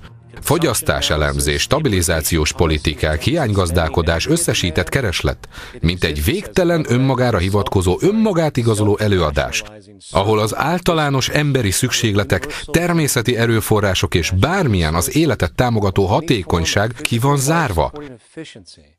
És ezeket az a meglepő elgondolás helyettesíti, hogy az emberek pénzért egymás kárára, saját önös érdekeik által vezérelve varázslatos módon létre fognak hozni egy fenntartható, egészséges és kiegyensúlyozott társadalmat. Nincs egyetlen az élethez szükséges változó sem ebben az egyenletben. Mit csinálnak ezek egyáltalán? Pénzügyi folyamatokat követnek. Semmi más nem tesznek, mint pénzügyi folyamatokat követnek, mintha legalábbis csak ezek számítanának. Nincsenek élethez szükséges változók az egyenletben. Nincsenek élethez szükséges változók. Minden résztvevője a rendszernek az önmaximalizálás lehetőségét keresi. Az a semmi sem számít saját önös érdekein és önző céljaikon kívül.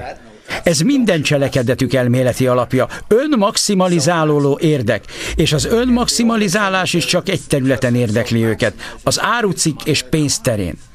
Na de mégis, mi van az emberi kapcsolatokkal? Nem számítanak, kivéve, ha azok segítik az önmaximalizálást. És mi a helyzet a természeti erőforrásokkal? Nem lényegesek, kivéve, ha a kiaknázásukról van szó. És a család életben maradási képessége? Nem számít, pénzzel kell rendelkezniük, hogy bármit is megvehessenek. Nem kellene talán a gazdaságnak valahol az emberi szükségletekkel is törődnie? Nem ez lenne az alapvető cél? Ja, hogy a szükséglet benne sincs a közgazdászok szótárában. Beleolvasztották az igénybe. És mit is jelent az, hogy igény? Pénzkeresletet vásárlási szándékkal.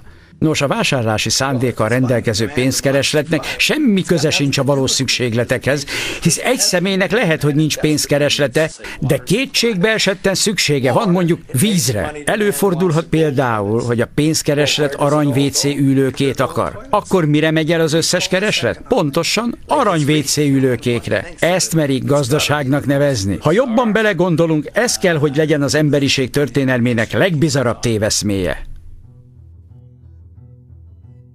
Nos, eddig csak a piaci rendszerre koncentráltunk, holott ez a rendszer csak az egyik fele a globális gazdasági paradigmának. A másik fele a pénzügyi rendszer. Míg a piacgazdaság az emberek közötti profitért történő játszmákkal foglalkozik a munka, a termelés és az elosztás szintjén, addig a pénzügyi rendszer egy pénzügyi intézetek által megszabott mögöttes szabályrendszer, amely többek között megteremti a piacgazdaság működéséhez szükséges feltételeket. A pénzügyi rendszer jól ismert fogalmai közé tartozik a kamat, hitel, adósság, pénzkibocsátás, infláció, stb. És miközben te hajat téped a pénzügyi közgazdászok szájából dőlő zagyvaságokat halva, Szerény megelőző lépések elkerülhetővé teszi későbbi drasztikus intézkedések szükségességét. E rendszer természete és következményei valójában könnyen megérthetők. A globális gazdaságnak három szabályozó tényezője van. Az első a résztartalékrátás bankrendszer, vagyis ahol a bankok pénzt nyomtatnak a semmiből. Ugyancsak alapját képezi a kamatos kamat. Ha pénzt veszel kölcsön, többet kell visszafizetned, mint amennyit felvettél, ami azt jelenti, hogy te valójában ismét csak pénzt hozol létre a semmiből. Egy végtelen növekedési paradigmában élünk. Ez valójában egy piramis játék.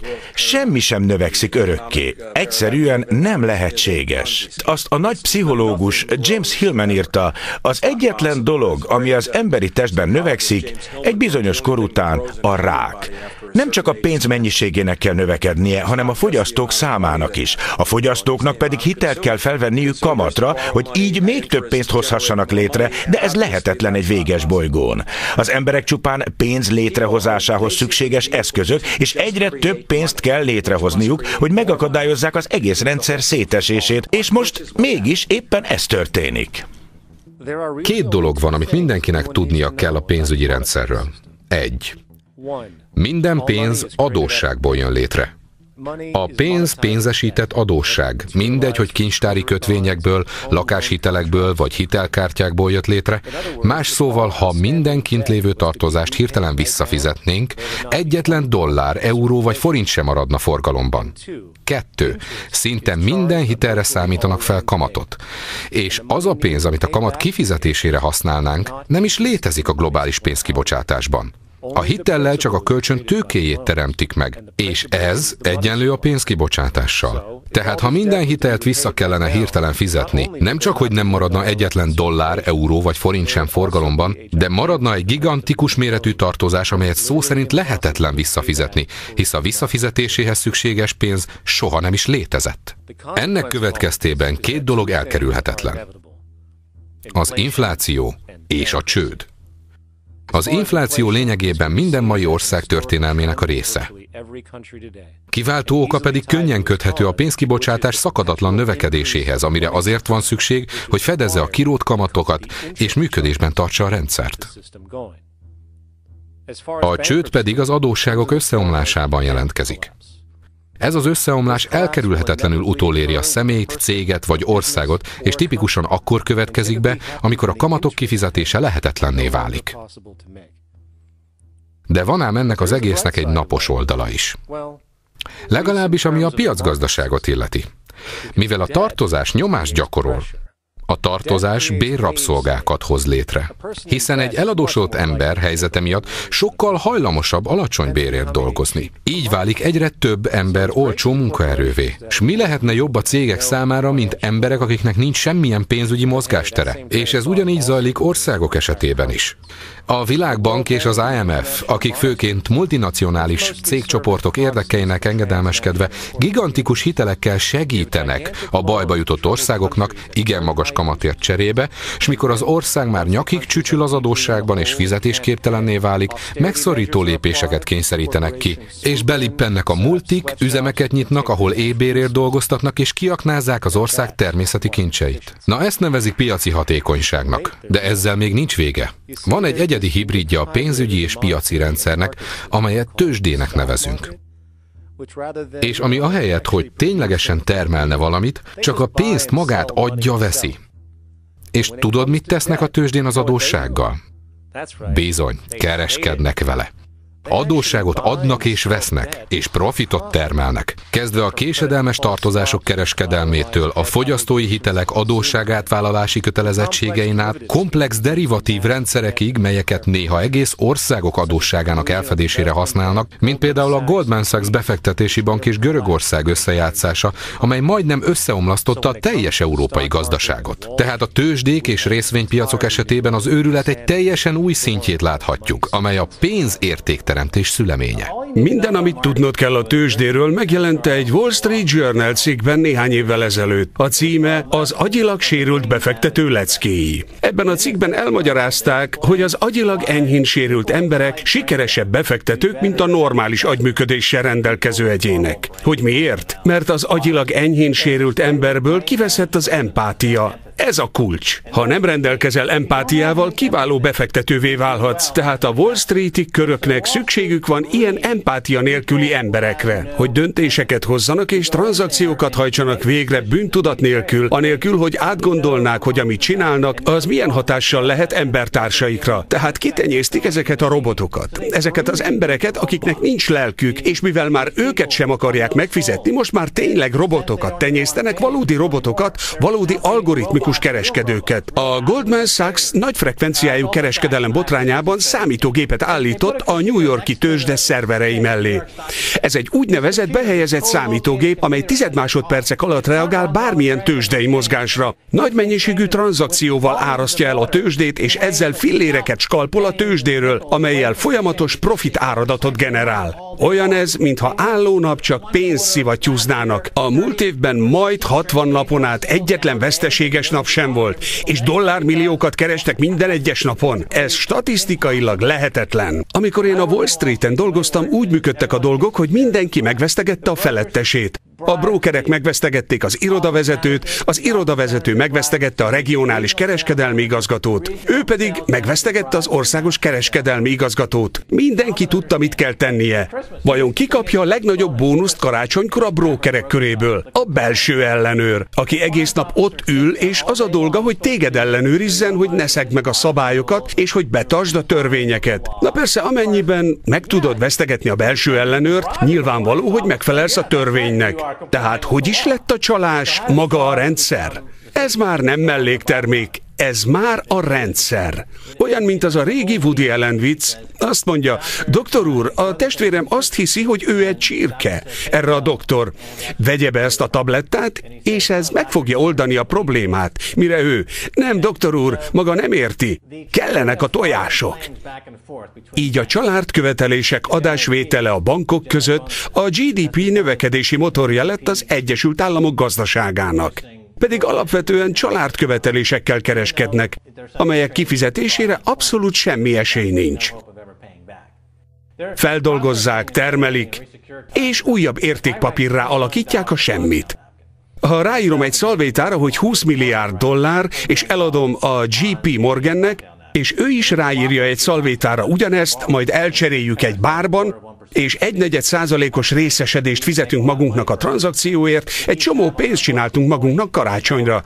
Mindkettőnk könyvelésében van egy 20 milliárd dolláros szalvét, aminek nincs valós értéke, amíg a rendszer egyszer csak nem tudja elnyelni. És akkor a kormányhoz fordulunk, hogy mentsen ki minket.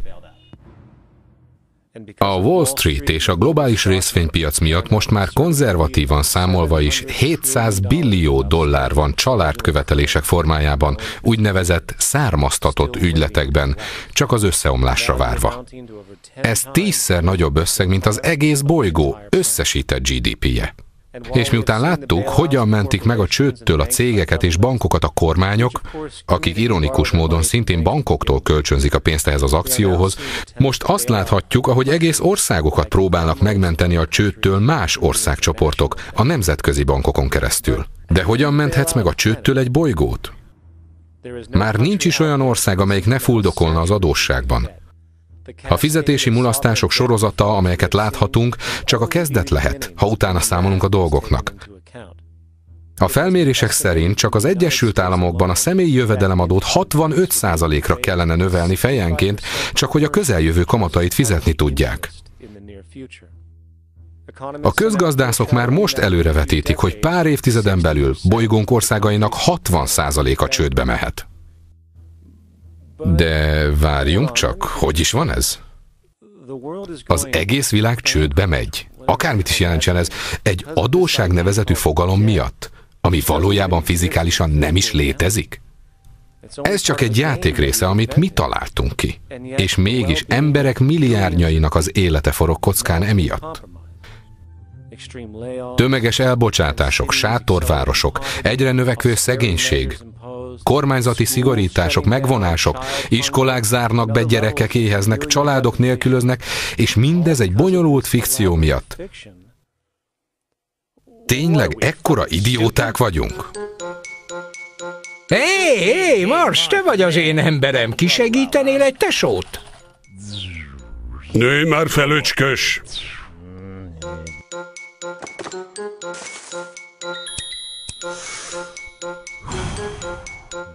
Saturnus, mi újság? Emlékszel arra a dögös kisködre, amivel összehoztalak nem régiben? Jaj, föld, kezdesz fárasztani minket. Mi minden megadatott neked, és elherdálsz mindent. Rengeteg erőforrásod van, ezt te is tudod. Miért nem nősz már fel, és tanulsz felelősségtudatot? Szégyent hozol anyádra.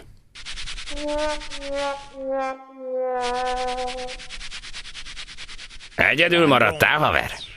Ja, persze.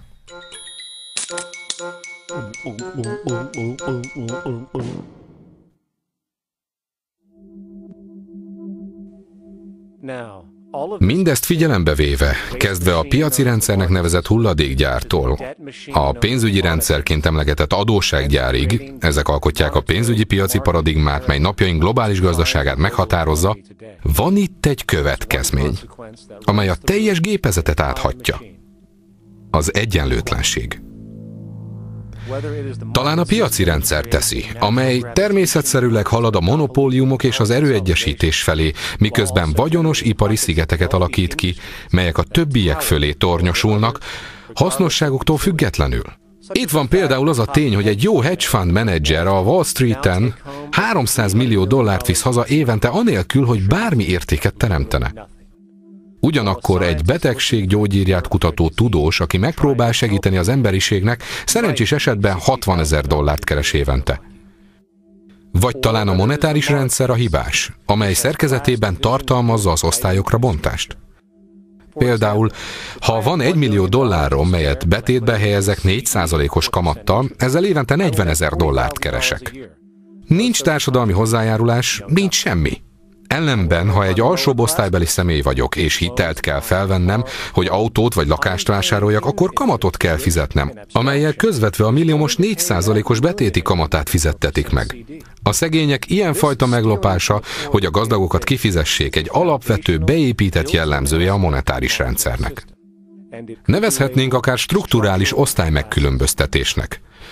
Történelmünkben természetesen a társadalmi rétegződést mindig is igazságtalannak tartottuk. Ennek ellenére mindenütt elfogadott, hisz napjainkban a népesség 1%-a birtokolja a bolygó javainak 40%-át. De tegyük félre az anyagi igazságosságot. Valami más is történik az egyenlőtlenség felszíne alatt, amely hihetetlen módon rombolja a közegészséget.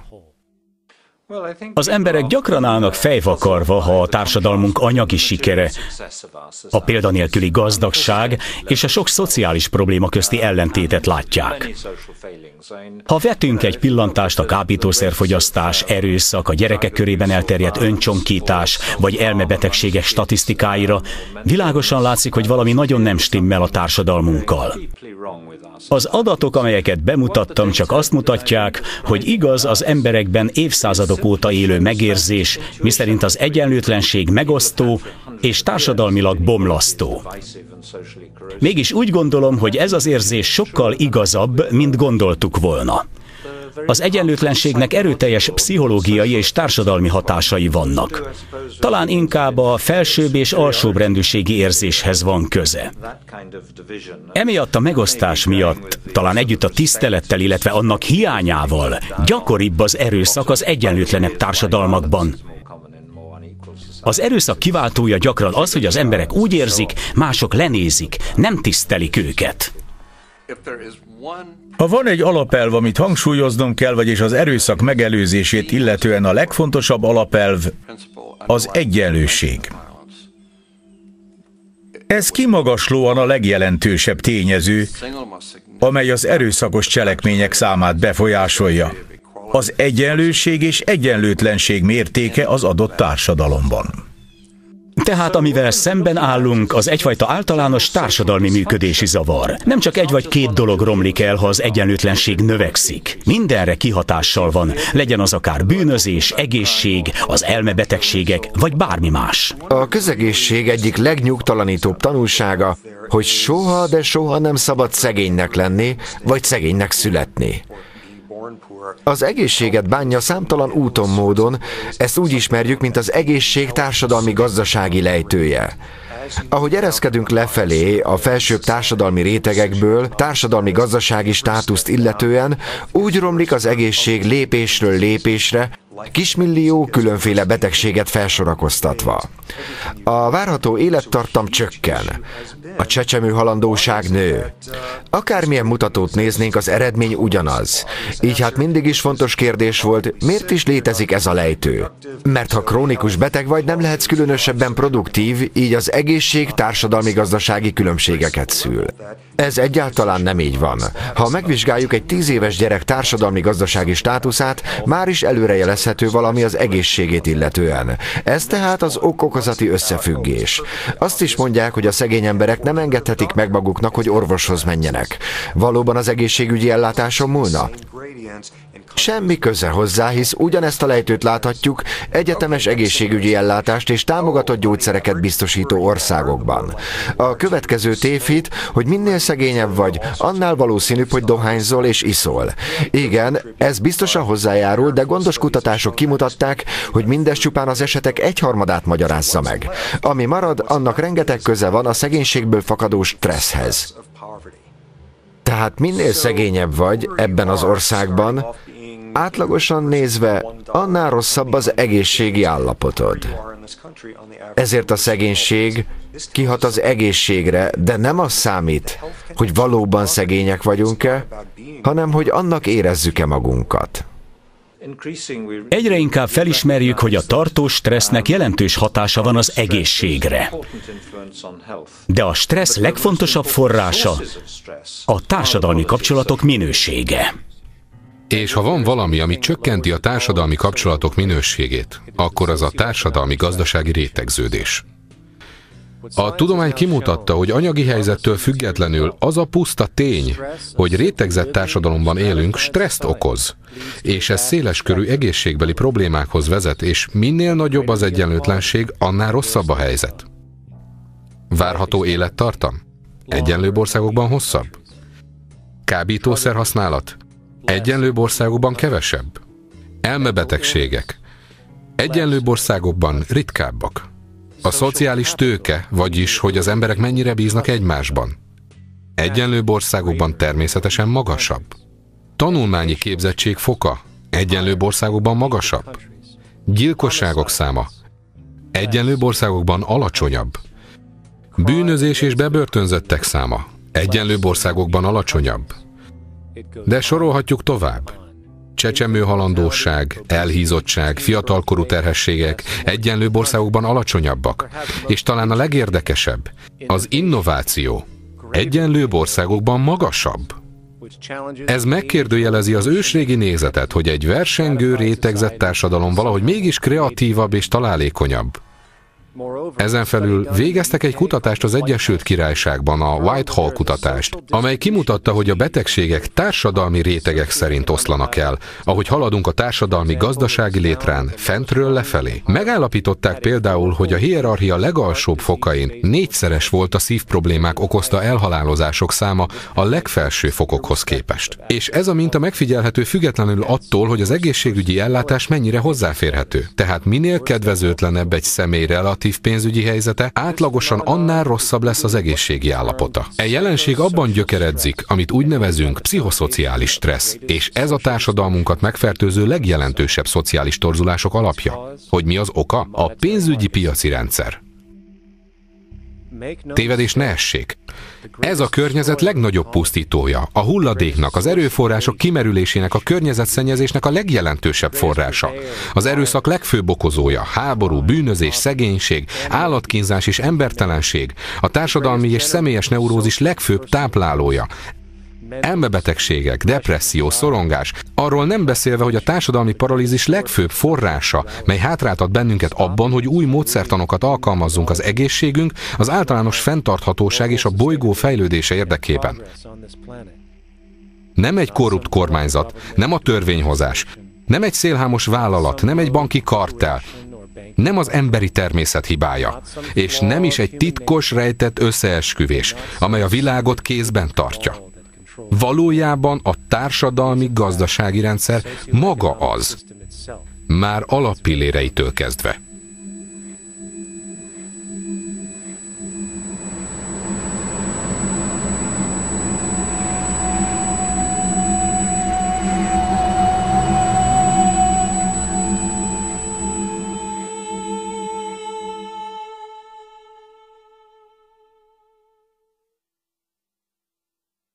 Képzeljük el egy pillanatra, hogy lehetőségünk volna az emberi civilizációt alapjaitól újra tervezni. Tegyük fel, hogy felfedeztünk egy bolygót, amely a Föld pontos mása, és az egyetlen különbség az új bolygó és a mostani Föld között az, hogy ott az emberi evolúció nem történt meg. Tiszta lappal indulunk. Országok és városok nélkül, környezetszennyezés és politikusok nélkül. Csak a tiszta, nyílt természeti környezet. Mit tennénk tehát? Először is kell egy cél, ugye? És méltán mondhatjuk, ez a cél túlélni. És nem csak egyszerűen túlélni, hanem optimális, egészséges, sikeres módon tenni azt. Valóban a legtöbb ember élni szeretne, és lehetőleg mindez szenvedés nélkül. Tehát ennek a civilizációnak az alapja a lehető legnagyobb mértékben kell támogassa, illetve fenntartsa az emberi életet, figyelembe véve a világ összes lakójának az anyagi szükségleteit. Ugyanakkor kizárva mindent, ami hosszú távon kárukra lehetne. Ha megértettük a maximális fenntarthatóság célkitűzést, a következő kérdés a módszerre vonatkozik. Milyen megközelítést alkalmazzunk? Lássuk csak, ha jól tudom, a Földön a társadalom működtetésére a politika módszerét használják. Tehát mit mond a republikánus, liberális, konzervatív vagy szocialista doktrina a társadalom tervezésről? Hmm, az égvilágon semmit. Hát a vallás? Gondolom a nagy teremtő hagyott valahol valami tervrajzot. Nem, nem találok semmit. Na jó, akkor mi maradt? Van itt valami, amit tudománynak neveznek. A tudomány azért egyedülálló, mert módszerei megkövetelik, hogy az ötleteket, javaslatokat teszteljék, és legyenek megismételhetők. Ráadásul bármi, amivel a tudomány előáll, eredendően cáfolható. Más szóval a vallástól és a politikától eltérően a tudománynak nincs önérzete. Bármit is javasol, elfogadja annak a lehetőségét, hogy idővel megcáfolhatják. Nem ragaszkodik semmihez, és folyamatosan fejlődik. Nos, ez nekem kellően természetesnek hangzik. Tehát akkor a jelenkori 21. század elejé tudományos ismeretek birtokában és célunkat, az emberi populáció maximális fenntarthatóságát szem előtt tartva, hogy kezdünk neki a tényleges építkezésnek? Az első kérdés, amelyet fel kell tenni, mire van szükségünk az élethez? A válasz természetesen a bolygó erőforrásai. A víztől, amit megiszunk, az energián át, amit elhasználunk, a nyersanyagokig, amelyekből szerszámokat és menedéket készítünk magunknak. A bolygó különböző erőforrások tárháza. Ezek között van több olyan, amely szükséges az életünkhöz. E tény ismeretében létfontosságú, hogy tudjuk, mivel rendelkezünk, és az hol található. Ez azt jelenti, hogy felmérést kell végeznünk. Fel kell lelnünk és azonosítanunk a bolygó minden fizikai erőforrását, az egyes lelőhelyeken található mennyiséggel együtt, a rézlelőhelyektől a szélerőművek működtetésére legalkalmasabb helyszínekig, hogy energiát termeljünk. A természetes édesvízforrásoktól az óceánokban élő halak mennyiségének felbecsléséig, a legjobb minőségű mezőgazdasági területek azonosításáig, stb. De mivel mi emberek az idő folyamán fogyasztani fogunk ezekből az erőforrásokból, rájövünk, hogy nem csak felfedezni és beazonosítani kell az erőforrásokat, hanem számon is kell tartani őket. Gondoskodnunk kell arról, hogy nem fogyunk ki ezekből a dolgokból. Az nagy baj lenne. Ez azt jelenti, hogy követnünk kell úgy a felhasznált mennyiséget, mint az erőforrások természetes újratermelődési sebességét. Például, hogy mennyi időbe telik, míg megnő egy fa, vagy létrejön egy forrás. Ez a dinamikus egyensúly. Más szóval, ha gyorsabban használjuk el a fákat, mint ahogy visszanőnek, akkor komoly baj van, mert az nem fenntartható. Hogyan tartsuk hát számon ezt a leltárt, különösen, hogy ezek a dolgok mindenfelé szét vannak szórva? Hatalmas ásványbányák vannak az Afrikának nevezett földrészen, energiabőség közel-keleten, hatalmas lehetőség árapálygenerátorok telepítésére Észak-Amerika keleti partvidéke mentén, a legnagyobb édesvízlelőhely Brazíliában van, stb. A jó öreg tudománynak erre is van javaslata. Úgy hívják rendszerelmélet. A rendszerelmélet felismeri, hogy a természetes világ anyaga az emberi szervezettől a Föld bioszférájáig a naprendszer által gyakorolt gravitációs vonzással egyetemben egyetlen hatalmas, szinergikusan összekapcsolt rendszer. Ugyanúgy, ahogy az emberi testsejtjei szervekbe tömörülnek, a szervek meg összekapcsolódva alkotják testünket. Mivel testünk nem élhet a bolygó erőforrásai élelem, levegő és víz nélkül, bensőségesen kapcsolódunk a Földhöz. Tehát a természet példájára fogjuk az egész leltárkészletet, és a készletmozgási adatokkal együtt egy rendszert hozunk létre kezelésükre. Egy globális erőforrás kezelő rendszert. Azért, hogy a bolygó minden releváns erőforrását számba vegyük. Egyszerűen nincs más logikus alternatíva, ha célunk a hosszú távú túlélés. Mindezt egy egységként kell kezelnünk. Ha ezt megértettük, áttérhetünk a termelés kérdésére. Hogyan használjuk mindezeket? Mi lesz a termelés menete, és miket vegyünk fontolóra, hogy biztosak lehessünk, az a lehető legoptimálisabb mód, így maximalizálva a fenntarthatóságot. Az első dolog, ami a szemünkbe ötlik, hogy állandóan törekednünk kell a takarékosságra. A bolygó erőforrásai alapvetően végesek, ezért fontos, hogy jó stratégiánk legyen. A stratégiai takarékosság kulcsfontosságú. A második dolog, amit észreveszünk, hogy egyes erőforrások nem olyan hatékonyak, mint mások. Sőt, használat közben néhány erőforrásnak szörnyű hatása van a környezetünkre, ami elkerülhetetlenül tönkreteszi saját egészségünket is. Például a kőolaj és a fosszilis üzemanyagok, akárhogyan használod fel, nagyon pusztító anyagokat bocsátanak a környezetbe. Épp ezért nagyon fontos, hogy az ilyen dolgokat csak akkor használjuk fel, ha feltétlenül muszáj. Szerencsénkre rengeteg nap, szél, árapály, hullám, hődifferenciál és geotermikus energiatermelési lehetőségünk van. Így objektív stratégiánk lehet arra, hogy mit használunk és hol. Hogy elkerüljük a negatív visszahatást, vagy bármit, ami a termelés vagy a felhasználás eredményeképp károsítja környezetünket, és ezzel minket is. Ezt stratégiai biztonságnak fogjuk hívni, a stratégiai takarékossággal összhangban. De ezzel a termelési stratégiáknak nem értünk a végére. Szükségünk lesz egy hatékonysági stratégiára is, a termelési folyamatok tényleges működéséhez. Így tehát arra a következtetésre jutunk, hogy nagyjából három különböző szabálynak kell megfelelnünk. Az első, tervezünk minden terméket úgy, hogy a lehető leghosszabb ideig használható maradjon. Ugyanis minél több dolog megy tönkre, annál több erőforrásra lesz szükségünk a cseréjükre, és annál több hulladék keletkezik. A második, amikor a termékek tönkre mennek, vagy valamilyen oknál fogva nem használhatók tovább, nagyon fontos, hogy a lehető legtöbb részét visszanyerjük vagy újrahasznosítsuk.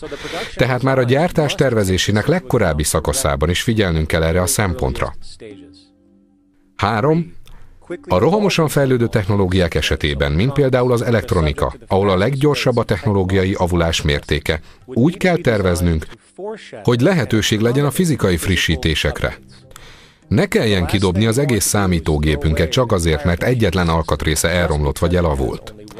Szóval egyszerűen úgy tervezzük meg az alkatrészeket, hogy azok könnyedén, darabonként, szabványosítva és univerzálisan cserélhetőek legyenek, a technológia várható változásait előrejelezve a jelenlegi tendenciák alapján. És amikor rájövünk, hogy a stratégiai takarékosság, a stratégiai biztonság és a hatékonysági stratégia mind pusztán technikai megfontolások, függetlenül bármilyen emberi véleménytől vagy részrehajlástól, egyszerűen beprogramozzuk ezeket a stratégiákat egy számítógépbe, amely képes mérlegelni és kiszámolni az összes releváns változót, lehetővé téve számunkra, hogy mindig a lehető legjobb módszert válasszuk ki a fenntartható termeléshez, az aktuális ismereteink alapján. És bár ez bonyolult, bonyolultnak tűnhet, az egész nem több, mint egy jó öreg számológép. Nem is beszélve arról a rengeteg döntéshozatali és ellenőrző rendszerről, melyeket jelenleg is használnak a világ különböző pontjain elszigetelt célokra.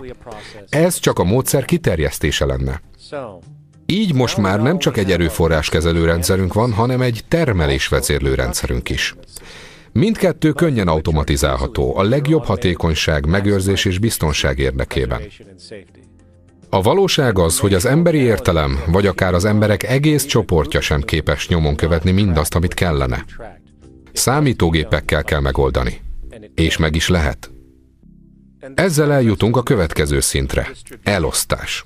Milyen fenntarthatósági stratégiáknak van értelme? Nos, mivel tudjuk, hogy két pont között a legrövidebb út az egyenes, és a szállítójárművek meghajtásához energia szükséges, úgy minél rövidebb a szállítási távolság, annál hatékonyabb az elosztás.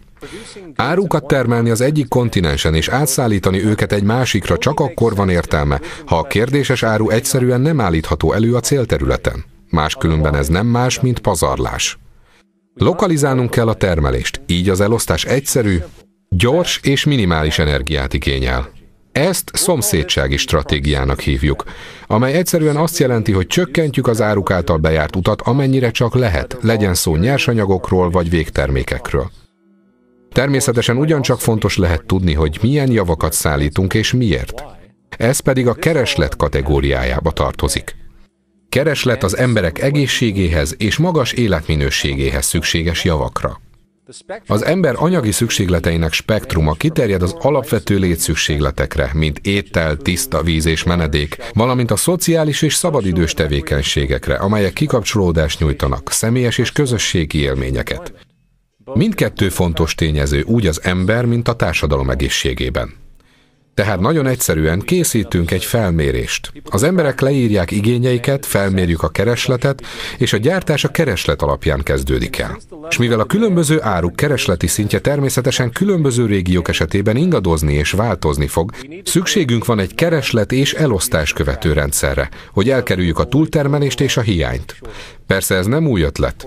Ezt már ma is használja minden nagyobb áruházlánc, hogy a készleteit ellenőrzés alatt tarthassa. Csak hogy ez esetben globális szinten követjük a készleteket. De várjunk csak. Valójában nem is érthetjük a kereslet miben létét, amíg nem számolunk a javak felhasználásának módjával. Vajon logikus és fenntartható-e, hogy minden embernek legyen egy példánya minden legyártott termékből? Akár használja, akár nem. Nem. Az egyszerűen pazarló lenne.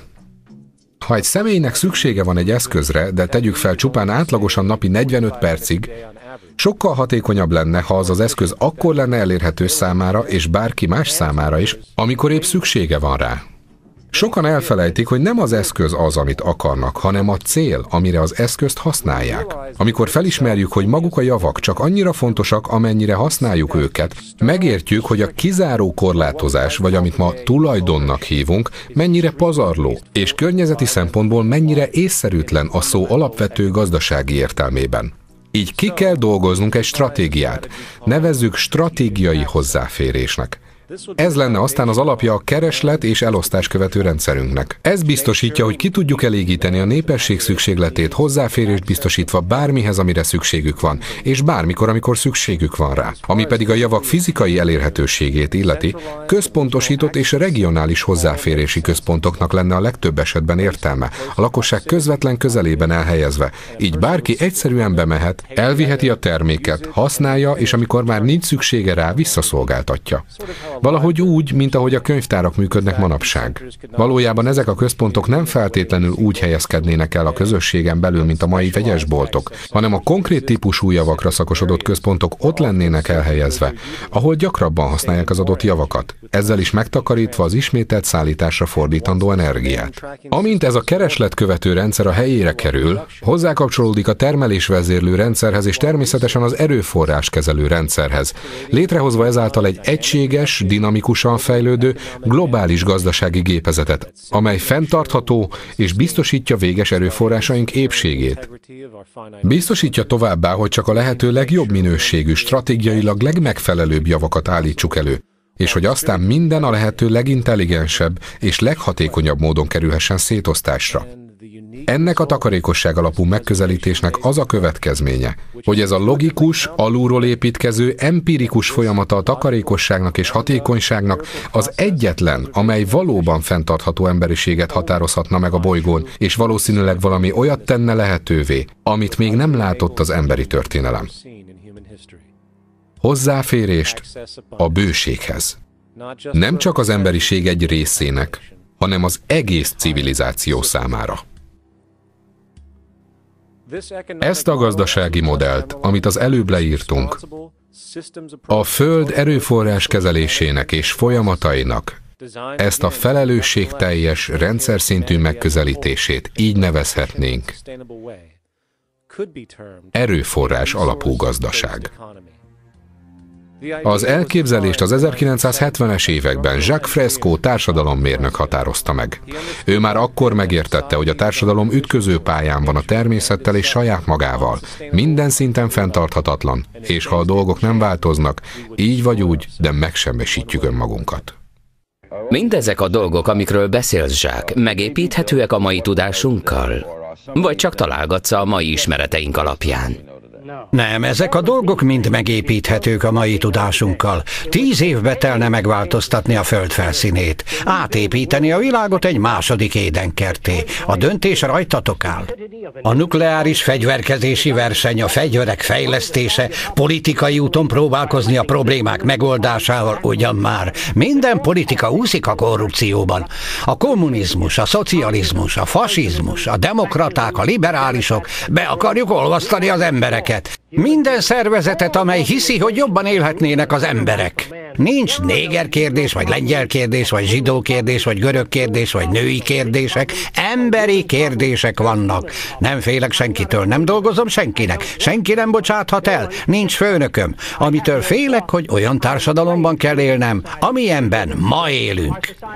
A szabad piaci rendszer nagyszerű volt úgy 35 évvel ezelőttig. Akkor volt legutoljára hasznunk belőle. Most változtatnunk kell a gondolkodásmódunkon, vagy elpusztulunk. A jövő horrorfilmjei a mi működésképtelen társadalmunkról fognak szólni, és a politika nagy szerepet játszana ezekben a filmekben. Sokan jellemzik ma a tudományt a ridegjelzővel, csak mert analitikus. És még azt sem tudják, mit jelent az, hogy analitikus. A tudomány jelentése pontos megközelítése annak, ahogyan a világ valójában működik. Tehát ki mondja az igazat, legyen az bármi. Egy tudós nem próbál meg jól kijönni az emberekkel. Elmondják, milyen tényekre bukkantak, minden dolgot meg kell kérdőjelezzenek, és ha néhány tudós előáll egy kísérlettel, ami megmutatja, hogy bizonyos anyagoknak melyek az erősségei, a többi tudósnak meg kell tudnia ismételni a kísérletet, és ugyanarra az eredményre kell jutniuk. Ha a tudós úgy érzi, hogy egy repülőgép szárnya a számítások alapján képes megtartani egy adott súlymennyiséget, még akkor is, ha homokzsákokat pakolnak rá, hogy lássák, mikor törik le, és elmondhassák, hogy a számításaik helyesek voltak-e vagy sem, Szeretem ezt a rendszert, mert mentes az elfogultságtól, és nem gondolja, hogy a matematika megoldhat minden problémát. Magát a matematikát is próbára kell tenni. Azt gondolom, minden rendszert, amit próbára lehet tenni, próbára is kell tenni, és hogy minden döntést kutatás alapján kell meghozni. Egy erőforrás alapú gazdaság egyszerűen a társadalmi kérdések tudományos módszerrel való megközelítése. Egy szemlélet, ami teljesen hiányzik a mai világból. A társadalom egy műszaki találmány, és az optimalizált egészség, a termelés, az elosztás, a városi infrastruktúra leghatékonyabb módszerei a tudomány és technológia területéről erednek, nem a politika vagy a monetáris gazdaság területéről. A társadalom ugyanazon a szisztematikus elven működik, mint mondjuk egy repülőgép, és egy repülőgépet nem lehet republikánus vagy liberális módon megépíteni. Hasonlóan a tudományos elképzelésünk igazolására maga a természet szolgáltat fizikai alapot, és a természet rendszere adott. Látszólagos fejlődése csak abból adódik, hogy egyre jobban megismerjük. A természet nincs tekintettel a szubjektív gondolatainkra, vagy hogy mit hiszünk igaznak. Ehelyett választási lehetőséget ad. Megtanulhatunk igazodni a természet törvényeihez, és ezeknek megfelelően cselekedni, vagy úszhatunk az árral szemben, mind hiába. Nem számít, mennyire hiszel benne, hogy most csak úgy végig sétálhatnál a melletted lévő falon. A gravitáció törvénye nem fogja engedni. Ha nem eszel, meghalsz. Ha nem érintenek meg csecsemőkorodban, meghalsz. Bármilyen keményen is hangzik, a természet diktatúra, amire vagy odafigyelünk és vele összhangba kerülünk, vagy súlyos következményeket fogunk elszenvedni. Tehát az erőforrás alapú gazdaság nem más, mint az életet támogató, bizonyított ismeretek készlete, ahol minden döntés az optimalizált emberi és környezeti fenntarthatóságra épül. Ez figyelembe veszi a gyakorlati élettér fogalmát, amely minden ember számára alapvető szükséglet, függetlenül politikai és vallási értékrendjétől. Itt nem lehet szó kulturális különbségekről. Ez nem vélemény kérdése. A szükségletek azok szükségletek. A létszükségletek elérhetősége, mint a tiszta levegő, táplálóétel, tiszta víz és a pozitív, megerősítő, stabil, gondoskodó, erőszakmentes környezet nélkülözhetetlen szellemi és fizikai egészségünkhöz, evolúciós fejlettségünkhöz, és ezáltal magának a fajnak a túléléséhez. Egy erőforrás alapú gazdaság a rendelkezésre álló forrásokra épülne. Nem tölthetsz meg egy szigetet emberekkel, vagy építhetsz 50 ezer lelkes várost anélkül, hogy biztosítva lennének a létszükségletek. Tehát amikor a széles körű rendszerelmélet kifejezést használom, Először is egy térség felleltározásáról beszélek, és az ott található javak felméréséről. Nem csak építészeti, nem csak tervezési szempontból, viszont a tervezésnek az életszínvonal emelésének követelményeire kell épülnie. Én ezt értem egységes gondolkodásmód alatt. Étel, ruha, otthon, meleg, szeretet. Mind szükséges dolgok.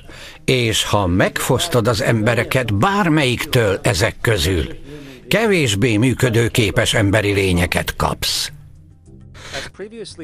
Ahogy korábban vázoltuk, az erőforrás alapú gazdaság felépítése, a kitermelés, gyártás és elosztás globális rendszerelméleti megközelítése révén valós gazdasági mechanizmusokon alapul, ami garantálja a hatékonyságot és a fenntarthatóságot a gazdaság minden területén.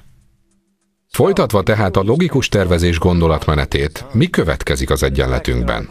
Hol valósul meg mindez? A városokban. A város megjelenése a modern civilizáció meghatározó jellemzője. Szerepe a létszükségletek hatékony hozzáférhetőségének megteremtése, fokozott szociális támogatással és közösségi érintkezéssel. Hogyan terveznénk meg az ideális várost? Milyen alakja lenne? Négyzet? Trapéz? Nos, mivel ide-oda közlekedünk majd benne, a kényelem kedvéért legyenek minél egyenlőbbek a távolságok, ezért válasszuk a kört. Mit kell egy városnak tartalmaznia? Természetesen lakóövezetet, árutermelési övezetet, energiatermelési és mezőgazdasági terület is szükséges. De nekünk, embereknek szükségünk van gondozásra. Így kell kultúra, természet, pihenés és oktatás. Hát tegyünk bele egy szép nyitott parkot, szórakoztató és kulturális célú rendezvényközpontot, valamint oktatási és kulturális létesítményeket. És mivel köralaprajzzal dolgozunk, adja magát, hogy ezeket a funkciókat körkörös övezetekbe szervezzük, az egyes funkciókhoz szükséges terület függvényében, hogy minden könnyen elérhető legyen. Akkor lássuk mindezt részletesen. Először is nézzük az alapvető infrastruktúrát. Ezek a víz, áru, hulladék és energiaszállító csatornák lennének. Ahogy a jelenlegi városaink alatt is van víz és szennyvíz hálózat, kibővítenénk ezt a csatorna koncepciót a hulladék újrahasznosítás és a kézbesítés bevonásával. Nincs többé postás vagy szemetes. Beépítünk mindent a rendszerbe. Használhatunk automatizált csőpostát vagy hasonló technológiákat is. Ugyanez érvényes a szállításra. Integráltnak és stratégiailag tervezetnek kell lennie, hogy csökkentse vagy akár kiváltsa a pazarló személyautók használatát. Villamosok, elektromos szállítók és maglevek, amik gyakorlatilag bárhová vihetnek a városban, és össze is köthetnék a különböző városokat. És természetesen, ha autóra volna szükség, műholdas irányítás gondoskodik a biztonságról. Valójában ez az automatizálási technológia jelenleg is működőképes. 1,2 millió ember hal meg évente gépjármű balesetekben, és kb. 50 millióan sérülnek meg. Ez képtelenség, és nem is kéne, hogy így legyen. Hatékony várostervezéssel és automatizált sofőr nélküli autókkal ezek a halálesetek megelőzhetőek lennének. Mezőgazdaság Hála a rendszerszemléletet nélkülöző és haszonelvű ipari módszereknek, rovarírtószerek, műtrágyák és egyéb kemikáliák használatával már sikeresen tönkretettük a termőföld nagy részét ezen a bolygón. Ráadásul szervezetünket is teletömtük mérgekkel. Ezek a vegyszerek ma már jóformán mindenkiben kimutathatók, még a csecsemőkben is. De szerencsére van reménysugár. A hidroponika és aeroponika talaj nélküli rendszerei, amik a jelenleg szükségesnél akár 75%-kal kevesebb tápanyagot és vizet használnak fel. Így vertikális farmokon ipari méretekben organikusan termeszthető az élelmiszer.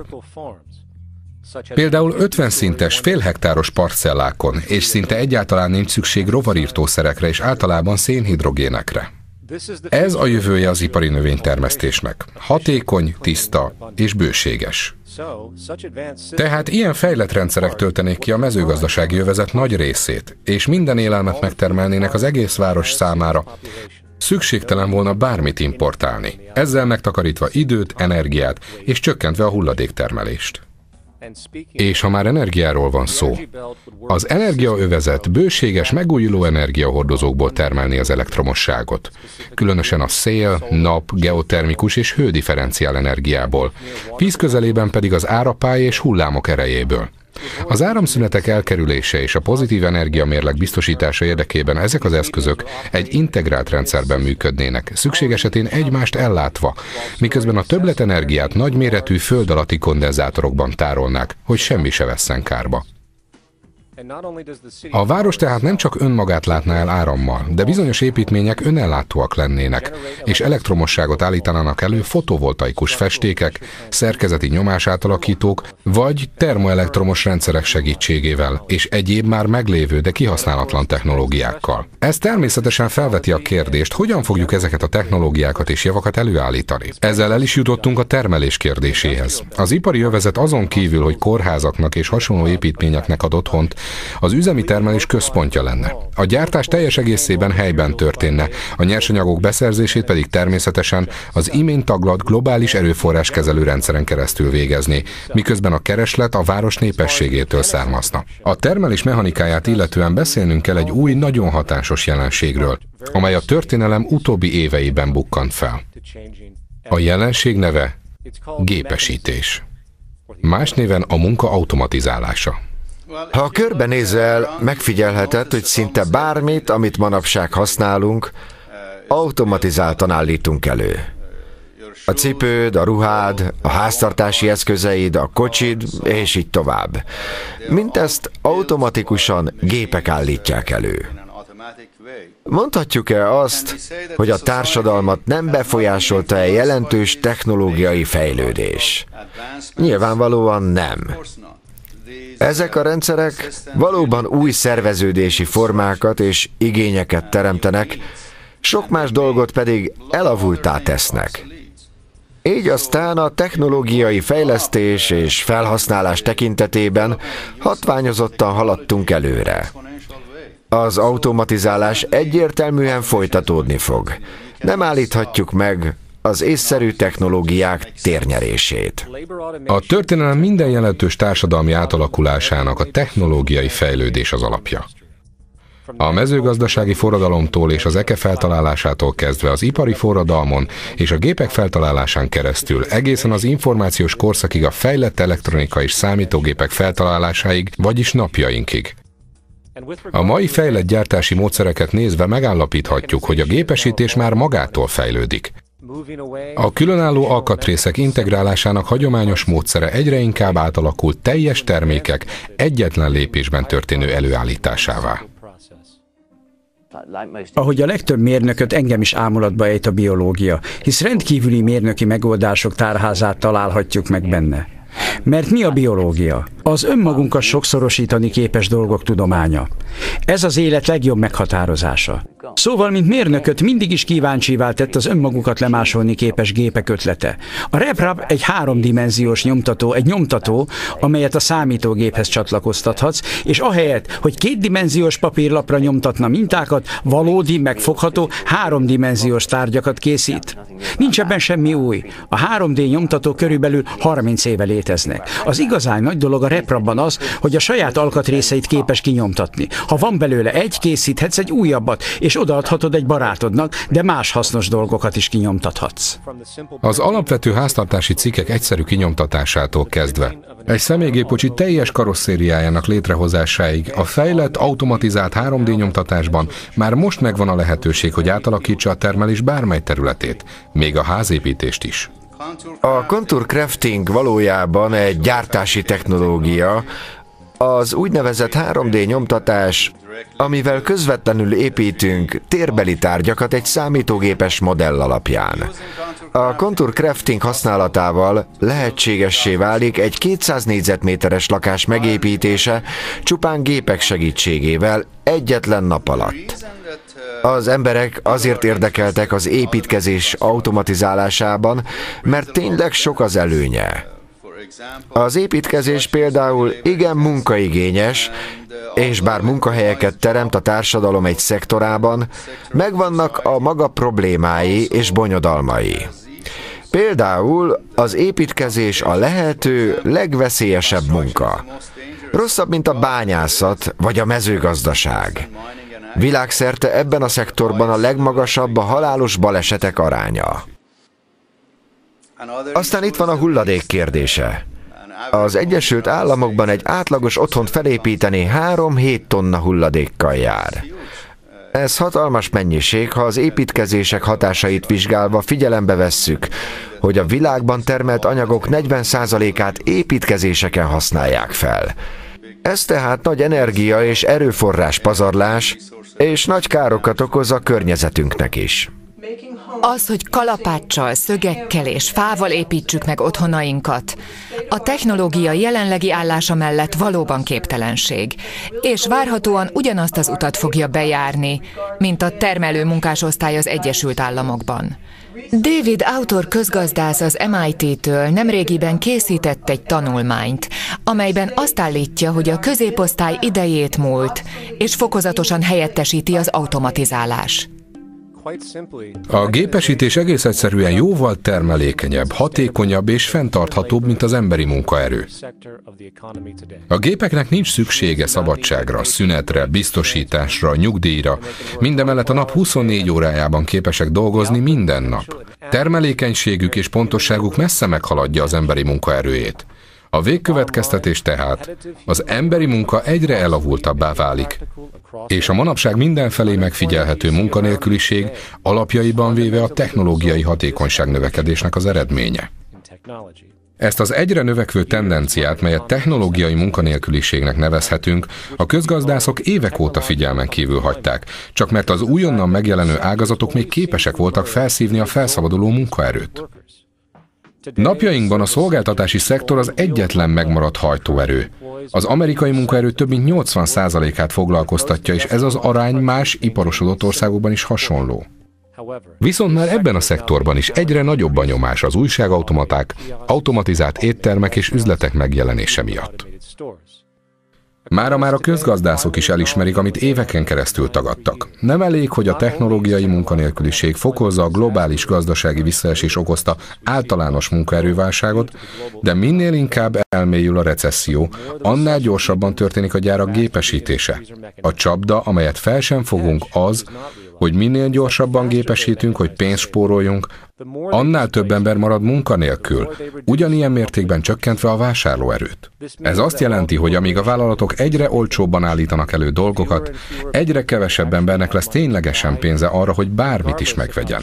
Függetlenül attól, mennyire válik olcsóvá. Így aztán a bérért való munkajátéka szép lassan elérkezik a végéhez. És ha egy pillanatra megnézzük, hogy a manapság létező munkáknak mekkora részét válthatná ki azonnal az automatizálás, arra jutunk, hogy a globális munkaerő 75%-át holnaptól gépesített megoldások helyettesíthetnék. Éppen ezért egy erőforrás alapú gazdaságban nem lehet pénzpiaci rendszer. Egyáltalán nincs pénz. Mivel nincs rá szükség. Az erőforrás alapú gazdaság felismeri a gépesítés hatékonyságát, és elfogadja azt a hozadéka miatt. Nem küzd ellene, mint ahogy az napjainkban történik. Miért? Mert felelőtlenség lenne így tenni, ha fő célunk a hatékonyság és a fenntarthatóság. És ezzel visszakanyarodunk a városrendszerünkhöz. A középpontban található a központi kupola, amely nem csak az oktatási létesítményeknek és a szállítási hálózat központjának ad otthont, hanem itt található az a szuperszámítógép is, amely a város technikai üzemeltetését végzi. A város tulajdonképpen egy nagy automatizált gép. Érzékelőkkel rendelkezik valamennyi technikai övezetben, hogy nyomon követhesse az építési folyamatokat, az energiagyűjtést, a termelést, az elosztást és hasonlókat. Kérdés, hogy szükség van-e emberekre, akik felügyelik a folyamatokat? Nagy valószínűséggel igen, de ahogy a fejlesztések haladnak, egyre kevesebbre. Ha jól elosztjuk a feladatokat, a város népességének talán 3%-ára lenne szükség. És egy dolog biztos. Ez egy olyan gazdasági rendszer, melyet arra terveztek, hogy gondoskodjon rólad, és biztosítsa jólétedet anélkül, hogy napi rendszerességgel alávetnéd magad egy privát diktatúrának, gyakran technikailag felesleges és társadalmilag céltalan munkát végezve, nem létező adóssággal küzdve, mindezt azért, hogy megélj valahogy. Garantálom, hogy az emberek önként jelentkeznek majd egy olyan rendszer karbantartására és fejlesztésére, amely valóban gondoskodik róluk. Ide kapcsolódik az ösztönzés kérdése. És az az elterjedt felfogás, hogy ha semmi sem kényszerít, hogy megdolgozza megélhetésért, semmit tevően üldögélnél és lusta hájpacnivá változnál. Ez egy ostobaság. Valójában épp, hogy a jelenlegi munkarendszer szüli a lustaságot, ahelyett, hogy megoldaná azt. Ha visszagondolsz a gyermekkorodra, tele voltál élettel, vonzott az új dolgok megértése, az alkotás, a felfedezés. Aztán telt múlt az idő, és a rendszer arra kényszerített, hogy kiöltölt, hogyan szerezhetsz pénzt. És a tanulmányait kezdetétől az egyetemig erre a szűk látókörre korlátoztak. Csak azért, hogy végül fogaskerékké válj egy gépezetben, amiben a munkagyümölcse a felső egy százalékot gazdagítja. Tudományos kutatások kimutatták, hogy az embereket leleményesség és kreativitás tekintetében a pénz nem motiválja. Maga az alkotás a jutalom.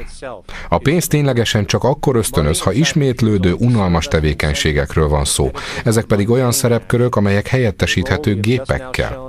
Ha innovációról van szó, mert az emberi elme valójában erre való, a pénzbeli ösztönzés csak akadálynak bizonyul. Ellentétes a kreatív gondolkodással, levon annak értékéből. Ez megmagyarázza azt is, hogy Nikola Tesla, a Wright fivérek és más feltalálók, akik jelentősen hozzájárultak mai világunk vívmányaihoz, miért nem a pénzt hajházták találmányaikkal. A pénz valójában hamis ösztönző, és százszor több torzulást okoz, mint amennyi hozadéka van. Jó reggelt az osztálynak, foglaljatok helyet. Először is körbe szeretnék menni az osztályteremben, hogy megkérdezzek mindenkit, mi szeretne lenni, ha felnő. Ki legyen az első? Oké, okay, legyen Sára. Ha nagy leszek, a McDonald'sban akarok dolgozni, mint anyukám. Ó, a családi hagyomány? És te, Linda? Ha nagy leszek, prostituált leszek New York utcáin. Ó, egy szép lány, mi? Igazán nagyra törő. Na és te, Tomi? Ha nagy leszek, egy gazdag elitista üzletember leszek a Wall Street-en, és külföldi gazdaságok összeomlásából fogok profitálni. Vállalkozó szellem, és örömmel látom a más kultúrák iránti érdeklődést. Ahogy korábban megállapítottuk, az erőforrás alapú gazdaság tudományos módszerrel közelíti meg a társadalmi törődés kérdését, és ez nem csupán a technika hatékonyságára korlátozódik. Figyelembe veszi az ember és a közösség jólétét és ezek tényezőit. Végső soron mire jó egy társadalmi rendszer, ha nem vezet boldogsághoz és békés együttéléshez? Fontos tehát rámutatni, hogy a pénzrendszer megszüntetésével és az életszükségletek biztosításával a globálisan elkövetett bűncselekmények nagyjából 95%-os azonnali csökkenését tapasztalnánk, hiszen nem lenne miért lopni, sikkasztani, csalni. A ma börtönben lévő 95%-a valamilyen pénzügyi bűncselekmény vagy kábítószerfogyasztás miatt került be. A kábítószerfogyasztás pedig betegség, nem bűn. És mi a helyzet a maradék 5%-kal? Akik sokak számára úgy tűnnek, hogy csupán az erőszak kedvéért erőszakosak? Ők egyszerűen csak gonosz emberek? Az ok, amiért őszintén szólva időpocsékolásnak tartom erkölcsi értékítéletekbe bocsátkozni az emberi erőszakról, az az, hogy mindez egy jottányit sem viszi előre akár az erőszakos viselkedés okainak megértését, akár annak megelőzését. Néha megkérdezik tőlem, hogy hiszek-e a bűnök megbocsátásában. A válaszom erre az, hogy nem. Éppen úgy nem hiszek a megbocsátásban, mint amennyire a kárhozatban sem hiszek.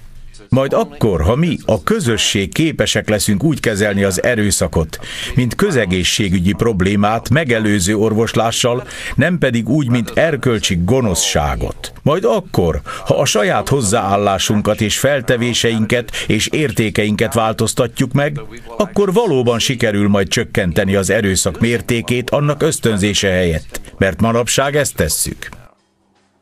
Minél inkább törekszel az igazságosságra, annál több károd származik, mert nem létezik olyasmi, hogy valami igazságos. Ami történik, megtörténik. Ha az embereket vakbuzgó rasszistákká kondicionálják, ha olyan környezetben nőnek fel, ami ezt támogatja, miért hibáztatod ezért az egyént? Egy szubkultúra áldozatai. Segíteni kell rajtuk. Át kell terveznünk a környezetet, amely aberáns viselkedést eredményez. Ez a feladat, nem tömlött tudsz bezárni egy embert. Ezért a bíró, az ügyvéd, a döntés szabadsága és hasonló fogalmak félrevezetnek hogy az egyén a rossz, vagy hogy az az ember egy sorozatgyilkos. A sorozatgyilkosokat kitermelik. A felfegyverzett katonák is azzá válnak, gyilkológépekké, mégse orgyilkosként tekint rájuk senki, mert az természetes. Azt mondjuk, nos, ez a pasas náci volt, zsidókat kínzott meg. Dehogy, ő zsidó kínzására lett nevelve. Mihelyest elfogadod a tényt, hogy az embereknek van választásuk és szabadon hozhatnak döntést, szabadon döntéseket hozni azt jelenti, hogy semmi sem befolyásol. Amit én egyáltalán nem tudok felfogni. Mindannyiunk összes döntésére hatással van a kultúra, amelyben élünk, a szüleink és az uralkodó értékek. Befolyásolva vagyunk, tehát nem lehetnek szabad döntéseink. Melyik a világ legnagyszerűbb országa? A helyes válasz? Nem jártam még mindenütt a világban, így nem tudok eleget a különböző kultúrákról ahhoz, hogy válaszoljak. Nem ismerek senkit, aki így beszélne. Azt mondják, hát a jó öreg Amerika a legnagyszerűbb ország a Földön. Nem végeznek felmérést. Voltál már Indiában? Nem. Angliában? Nem. Franciaországban? Nem. Mire alapozod akkor a feltevésed? Nem tudnak válaszolni, ezért feldühödnek, azt mondják. Az Istenit, ki a fene vagy te, hogy megmond nekem, mit gondoljak? Ne feled, eltévejedett emberekkel van dolgod, nem terheli őket felelősség a válaszaikért. A kultúra áldozatai, ami azt jelenti, hogy a kultúrájuk befolyással van rájuk.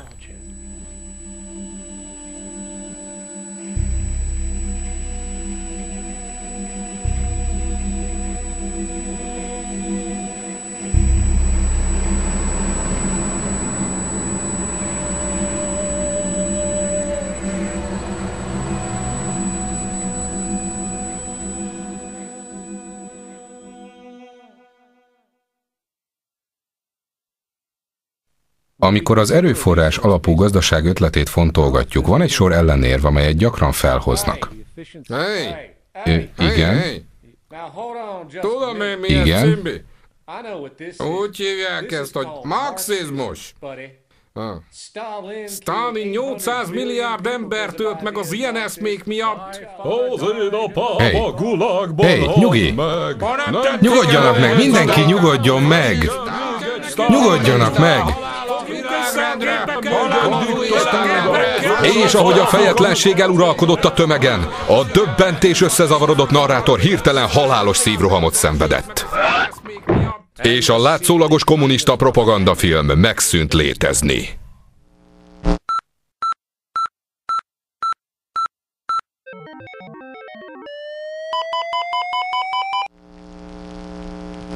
Korábban beszéltem ilyesmikről agytrösz jellegű ötleteléseken, ilyen római klubfélékben és hasonlókban. Marxista, mondják. Micsoda? Marxista? Hát ezt honnan szedted? Van ez az ikonjuk, amibe kapaszkodnak. Ez a szent grájuk. Ráadásul egy ilyen egyszerű dolog. Megkérdik tőlem, hogy szocialista vagyok-e, kommunista vagy kapitalista. Egyik sem. Miért gondolják, hogy csak ezek a lehetőségek vannak? Ezeket a politikai konstrukciókat olyan írók alkották, akik azt gondolták, hogy a bolygónk végtelen erőforrásokkal rendelkezik. E politikai eszmék nem számolnak azzal, hogy bármiből hiány léphet fel. A kommunizmus, a szocializmus, a szabadpiac, a fasizmus mind a társadalmi evolúció lépései. Nem juthatsz egyetlen lépéssel egyik kultúrából a másikba. Vannak köztes rendszerek. Még mielőtt bármilyen izmusról esne szó, ott van az életterünk, amit az előbb úgy fogalmaztam meg, hogy az ezt követő levegővételethez szükséges feltételek összessége, és ebben benne van a levegő, amit lélegzel, a víz, amit iszol, a biztonságod, a számodra elérhető oktatás. Mindezen dolgok, amiken osztozunk, és amik nélkül élet nem létezhet semmilyen kultúrában. Szóval újra kell kezdenünk az élettér fogalmától, és az élettér már nem izmusok kérdése, az élet értékeinek elemzéséről szól. Egyszerű történelmi tény, hogy bármely társadalom uralkodó szellemi kultúrája mindig az adott társadalom uralkodó rétegeinek érdekeit tükrözi. Egy rabszolgatartó társadalomban az emberekről és jogaikról alkotott hit a rabszolgatartók érdekeit fogja tükrözni. Ugyanígy egy társadalomban, amely bizonyos emberek irányítására és milliók életéből és munkájából való gyarapodására alapoz, az uralkodó szellemi kultúra ezen uralkodó réteg érdekeit tükrözi. Szóval, ha együtt nézed a dolgokat, látod, hogy az eszmék, amik áthatják a pszichológiát, a szociológiát, a történelmet, a politikai gazdaságtant és a politikatudományt, mind alapvetően az elit érdekeltségeit tükrözik. És a tudósokat, akik ezt túl sokat vitatják, általában félrelökik, vagy radikálisoknak állítják be őket.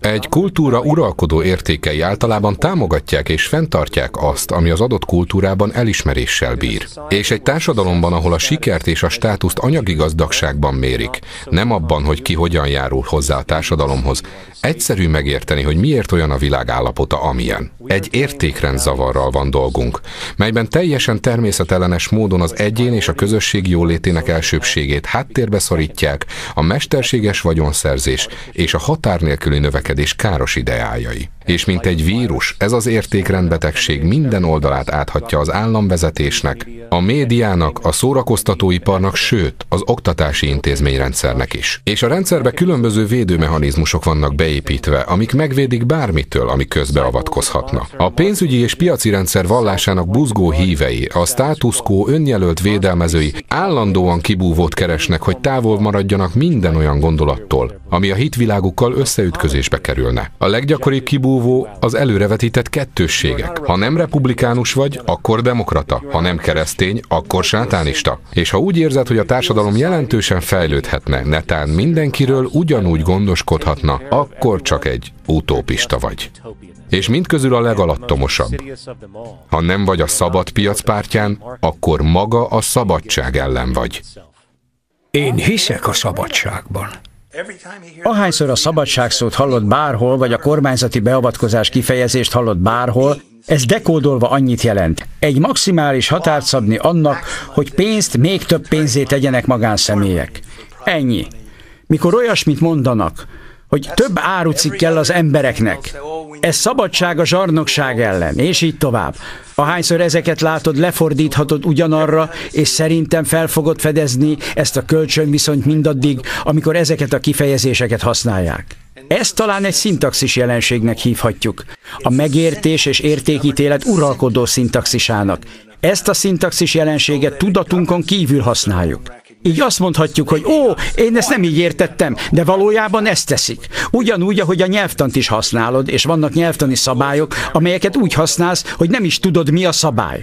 Szóval, amivel szembenézünk, azt én úgy hívom uralkodó értékszintaxis, ami ezt fejezi ki. Szóval ahányszor ezeket a szavakat használják, kormányzati beavatkozás, a szabadság hiánya, vagy szabadság, vagy haladás, fejlődés, te szépen dekódolod magadnak, hogy mind ugyanazt jelenti. Persze, amikor a szabadság szót hallod, az általában ugyanabban a mondatban szerepel, mint az a valami, amit úgy hívnak demokrácia. Lenyűgöző, ahogy az emberek ma azt hiszik, hogy ténylegesen befolyásolni tudják azt, amit a kormányuk csinál, elfelejtve, hogy rendszerünkben természeténél fogva minden eladó. Az egyetlen szavazat, ami számít, az a pénz szavazata. És mindegy, hogy különböző aktivisták mennyit kiabálnak etikáról és felelősségre vonásról. Egy piaci rendszerben minden politikus, minden törvényhozás és ennél fogva minden kormány megvásárolható. A 2007-ben bankmentésre költött 20 billió dollárból például teljesen kiválthattuk volna a globális energiainfrastruktúrát megújuló eljárásokkal. Ehelyett ez a pénz olyan intézményekhez került, amelyek szó szerint semmit nem tettek, hogy segítsék a társadalmat. Intézmények, amiket akár holnaptól eltörölhetnénk minden káros következmény nélkül. A vakbeidegződés, miszerint a politika és a politikusok az emberek jólétéért léteznek, tovább él. A tény az, hogy a politika egy üzlet. Ugyanolyan, mint az összes többi ebben a piac alapú rendszerben, és elsősorban a saját érdekükkel törődnek. Én a lelkem mélyén nem hiszek a politikai eljárásokban. Szerintem a rendszer úgy húzódik össze és tágul, ahogy akar. Alkalmazkodik a változásokhoz. Úgy gondolom, a polgári jogok mozgalma is egy alkalmazkodás volt azok részéről, akik az országot birtokolják. Szerintem pontosan látják, hogy hol szolgálják a dolgok a saját érdeküket. Pontosan tudják, hogy egy bizonyos mértékű szabadságot engedniük kell. A szabadság illúziója adja az embereknek évente egy választónapot, hogy meglegyen nekik az értelmetlen választás ábrándja. Egy értelmetlen választásé, és mi megyünk, mint a rabszolgák, és azt mondjuk, ó, én szavaztam. A viták határai ebben az országban már rég le vannak szögezve, mielőtt a vita egyáltalán elkezdődne. Mindenki mást félretolnak, kommunistának és hazaárulónak bélyegeznek. És hogy talán a hatalommal bíró emberek esetleg összeülnek és tervezgetnek? Ugyan. A rendszer védelmi mechanizmusai közül kettő rendszeresen visszatér. Az egyik, hogy a jelenlegi rendszer idézte elő a bolygón bekövetkezett jelentős fejlődést. Ez nem így van. Az úgynevezett gazdagság növekedést és a népesség növekedést a következő dolgok idézték elő. A termelési technológiák exponenciális fejlődése, vagyis a tudományos leleményesség és a bőséges szénhidrogén energiatartalékok felfedezése a korszak elején, ami jelenleg a teljes társadalmi gazdasági rendszer alapja. A szabadpiaci, kapitalista, monetáris piaci rendszer, nevezük akárhogy is, nem tett más, csak meglovagolta a jelenségek hullámát, megteremtve egy torz ösztönzési rendszert és az említett két jelenség gyümölcseinek véletlenszerű és súlyosan igazságtalan elosztási módszerét. A másik védekező mechanizmus a társadalmi előítélet. Egy éveken át tartó propaganda eredménye, amely szerint bármely más társadalmi rendszer az úgynevezett zsarnokság felé vezető út. Olyan neveket említenek, mint Stalin, Mao, Hitler és az általuk kioltott emberi életek számát. Bármennyire önkényesek is voltak ezek az emberek és az általuk fémjelzett társadalmi formák, ha halálról van szó, ha az emberi lények módszeres mindennapos tömegpusztításáról van szó, a történelem során soha semmi nem vette fel a versenyt azzal, amit ma tapasztalunk. Az éhínséget legalábbis az utóbbi száz évben nem az élelmiszerek hiánya okozta. A relatív szegénység okozta. A gazdasági erőforrások elosztása olyan egyenlőtlen volt, hogy a szegényeknek egyszerűen nem volt elegendő pénzük, hogy élelmiszert vásároljanak, ami pedig rendelkezésre állt volna, ha meg tudták volna fizetni. Ez a strukturális erőszak minta példája. Másik példa. Afrikában és más vidékeken, de különösen Afrikában emberek tízmilliói halnak meg AIDS-ben. Miért kell meghalniuk? Nem azért, mert nem tudjuk kezelni az étszet. A gazdag országokban is több millió a hív fertőzött, de ők nagyon jól megvannak, mert megkapják a kezeléshez szükséges orvosságokat. Afrikában az emberek nem a HIV vírus miatt halnak meg AIDS-ben, hanem azért, mert nincs pénzük, hogy megfizessék az életben tartásukhoz szükséges orvosságokat. Gandhi is így látta ezt. Ő mondta, az erőszak leghalálosabb formája a szegénység. És tökéletesen igaza van. A szegénység sokkal több embert pusztít el, mint a történelem összes háborúja, többet, mint a történelem összes gyilkosa, többet, mint a történelem összes öngyilkossága. A strukturális erőszak több embertől meg, mint a viselkedésből fakadó erőszakos cselekmények együttvéve, és ugyanakkor a strukturális erőszak a viselkedésből fakadó erőszak legfőbb oka.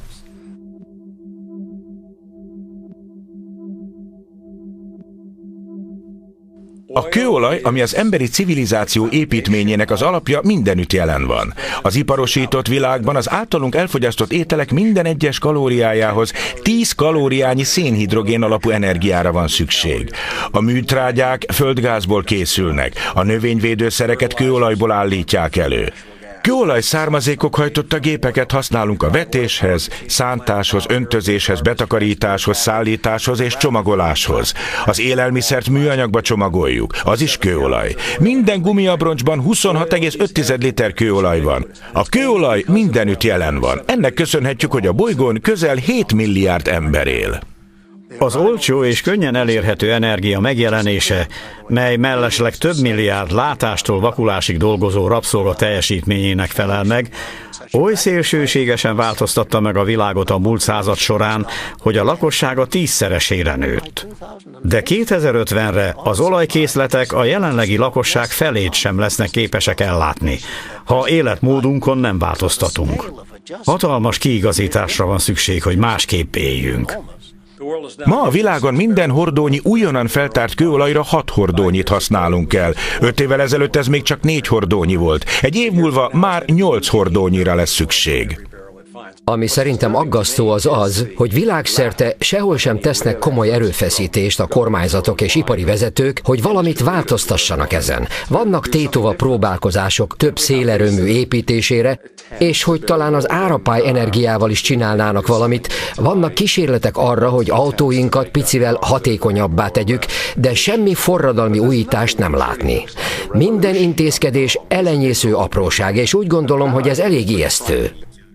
A kormányokat pedig olyan közgazdászok irányítják, akik nem szeretik hallani azt, amiről beszélünk, és a fogyasztást próbálják stimulálni, hogy visszaállítsák a hajdani virágzást. Abban a reményben, hogy vissza tudják állítani a múltat. Egyre több és több pénzt nyomtatnak, mindenféle fedezet nélkül. Tehát ha a gazdasági helyzet javul, és a híres növekedés újra visszatér, csak rövid életű lesz, mert rövid időn belül, évek helyett hónapokon belül újra neki ütköznek a kínálat korlátjának. Újabb árrobbanás és még mélyebb válság következik. Úgy gondolom, ördögi körbe kerültünk. A gazdasági növekedés fokozódik, majd az árak felmennek, végül minden bedől. Épp itt tartunk most. Aztán fokozatosan lendül fel a gazdaság, de nem lesz már olyan térség, ahol képesek leszünk olcsó energiát előállítani. Itt vagyunk a csúcson. Az olajtermelés lejtőre került. Nincs lehetőség arra, hogy felgyorsítsuk az olajkitermelést, ami azt jelenti, hogy leállások következnek, az olajár visszaesik, ahogyan 2009-ben is történt, de ahogy van egy kis fellendülés, az olajára újra emelkedni fog. Látható, hogy még ezen az árszinten is, a pénzügyi és gazdasági összeomlással a nyakunkon, az emberek igen nehezen tudják ezt megfizetni. A világ olajtermelése jelenleg nagyjából 86 millió hordó naponta. Az elkövetkező 10 évben hozzávetőlegesen 14 millió hordót mással kell helyettesíteni, és még nincs semmi, ami ennek a keresletnek akár egy százalékát is fedezhetné. Ha nem teszünk valamit elég gyorsan, hatalmas energiahiány lép fel.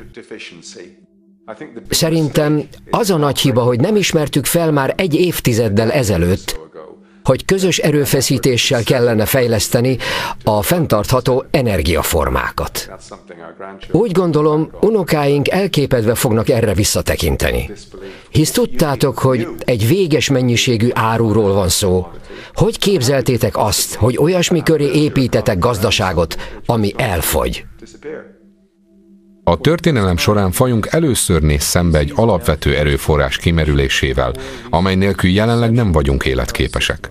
Ráadásul annak ellenére, hogy az olaj egyre ritkább, a gazdasági rendszer vakon tovább erőlteti ezt a rákfenés növekedési modellt, hogy az emberek újabb és újabb autót vegyenek, hogy emelkedjen a GDP, és munkahelyeket teremtsünk, ezzel is csak a hanyatlást sürgetve.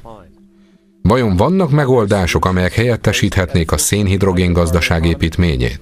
Természetesen vannak, de az út, amelyet be kellene járni a változások eléréséhez nem járható be a piaci rendszer protokolljai szerint, amely az új megoldások bevezetését csak is a profit mechanizmusán keresztül teszi lehetővé. Az emberek nem fektetnek megújuló energiába, mert nincs benne pénz sem rövid, sem hosszú távon. A dolog keresztülviteléhez szükséges elhivatottság csak súlyos anyagi veszteségeket von maga után. Tehát nincs rá pénzbeli ösztönzés, és ebben a rendszerben pénzbeli ösztönzés nélkül nem történik semmi. Az olajtermelés tetőzése ráadásul csak egyike az egyre közeledő környezeti társadalmi vonatszerencsétlenség számos következményének. A másik az édesvízkészletek kimerülése. Az édesvízből, amely létünk alapeleme, már is hiány mutatkozik 2,8 milliárd ember számára, és a jelenlegi ütemben 2030-ra már 4 milliárd ember marad víz nélkül. A szántóföldjeink, amelyeket jelenleg élelmünk 99,7%-ának megtermelésére használunk, 40-szer gyorsabban merülnek ki, mint ahogy regenerálódni képesek, és az utóbbi 40 évben a szántóföldek 30%-át tönkretettük. Nem beszélve arról, hogy a szénhidrogén mai mezőgazdaságunk gerince, és ahogy fogy, úgy fogynak majd az élelmiszerkészletek is. Az erőforrásokat illetően általánosságban elmondható, hogy a jelenlegi fogyasztási szokások mellett 2030-ra már két bolygóra lesz szükségünk az ütem fenntartásához. Ráadásul létfontosságú ökológiai rendszerünk folyamatosan pusztul. Mindezen tényezők mellett ott a szinte exponenciális népességnövekedés. 2030-ra bolygónk lakossága meghaladhatja a 8 milliárd főt. 2030-ig csupán az energiatermelésben 44%-os növekedésre lenne szükség, hogy a keresletet fedezni tudjuk. És mivel a pénz az egyedüli tényező, amely cselekvésre buzdíthatna, hogyan várhatjuk, hogy a bolygó akár egyetlen országa is meg tudja fizetni a hatalmas átalakításokat, amelyekkel forradalmasítható a mezőgazdaság, a vízfeldolgozás, az energiatermelés és minden más? Mikor az adósságok világméretű piramisjátéka lassan az egész világot megbénítja. Nem beszélve arról, hogy a technológiai munkanélküliség természetéből adódóan a most tapasztalható munkanélküliség megszokottá válik, nem lesznek új munkahelyek. Végül széleskörű társadalmi kilátásaink az alábbiak. 1970 és 2010 között a szegénység megduplázódott a fennálló rendszernek köszönhetően. A jelenlegi helyzetünk ismeretében mi más jöhet még, mint a szegénység újabb kétszereződése, mint még több szenvedés és tömeges éhénység. Már nem lesz semmiféle fellendülés. Ez nem egy elhúzódó válság, melyből egy napon kikecmergünk. Úgy gondolom, hogy az elkövetkező gazdasági összeomlásokat súlyos civil lázongások fogják követni, amikor a munkanélküli segét nem fizetik, mert az államoknak nincs pénze rá. Majd amikor a helyzet annyira elmérgesedik, hogy az emberek elveszítik hitüket megválasztott vezetőikben, változást fognak követelni, ha közben meg nem öljük egymást, vagy el nem pusztítjuk a környezetet. Én csak attól tartok, hogy elérhetünk a ponthoz, ahonnan nincs visszaút. És ez végtelenül aggaszt. Mindent megteszünk, hogy elkerüljünk egy ilyen helyzetet. Világos, hogy egy hatalmas átalakulás küszöbén áll az emberiség. Amivel jelenleg szembesülünk, az egy alapvető változás a múlt századból ismert életvitelhez képest. A gazdaság és a bolygó erőforrásai között muszáj kapcsolatnak lennie, legyen az erőforrás akár maga az állatvilág vagy a növényvilág, az óceánok egészsége vagy bármi más. A pénzalapú gondolkodásmód addig nem nyugszik, míg az utolsó emberi lény el nem pusztul. A benfentesek csoportja bármit meg fog tenni, hogy hatalmon maradjon. És ez az, amit észben kell tartanod. Bevetnek katonaságot, hazugságokat, bármit, ami kell a hatalmon maradáshoz. És sosem fogják feladni. Mert nem ismernek egyetlen más rendszert sem, mely életben tartaná a fajtájukat.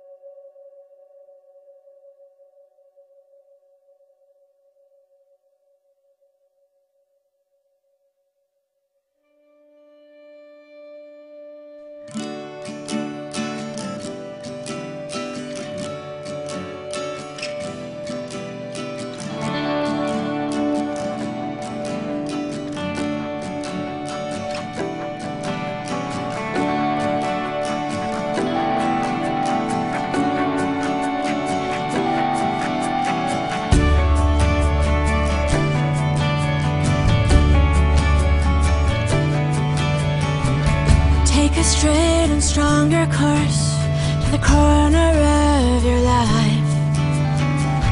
Just remember that the goal is for us all to capture all we want. Yeah.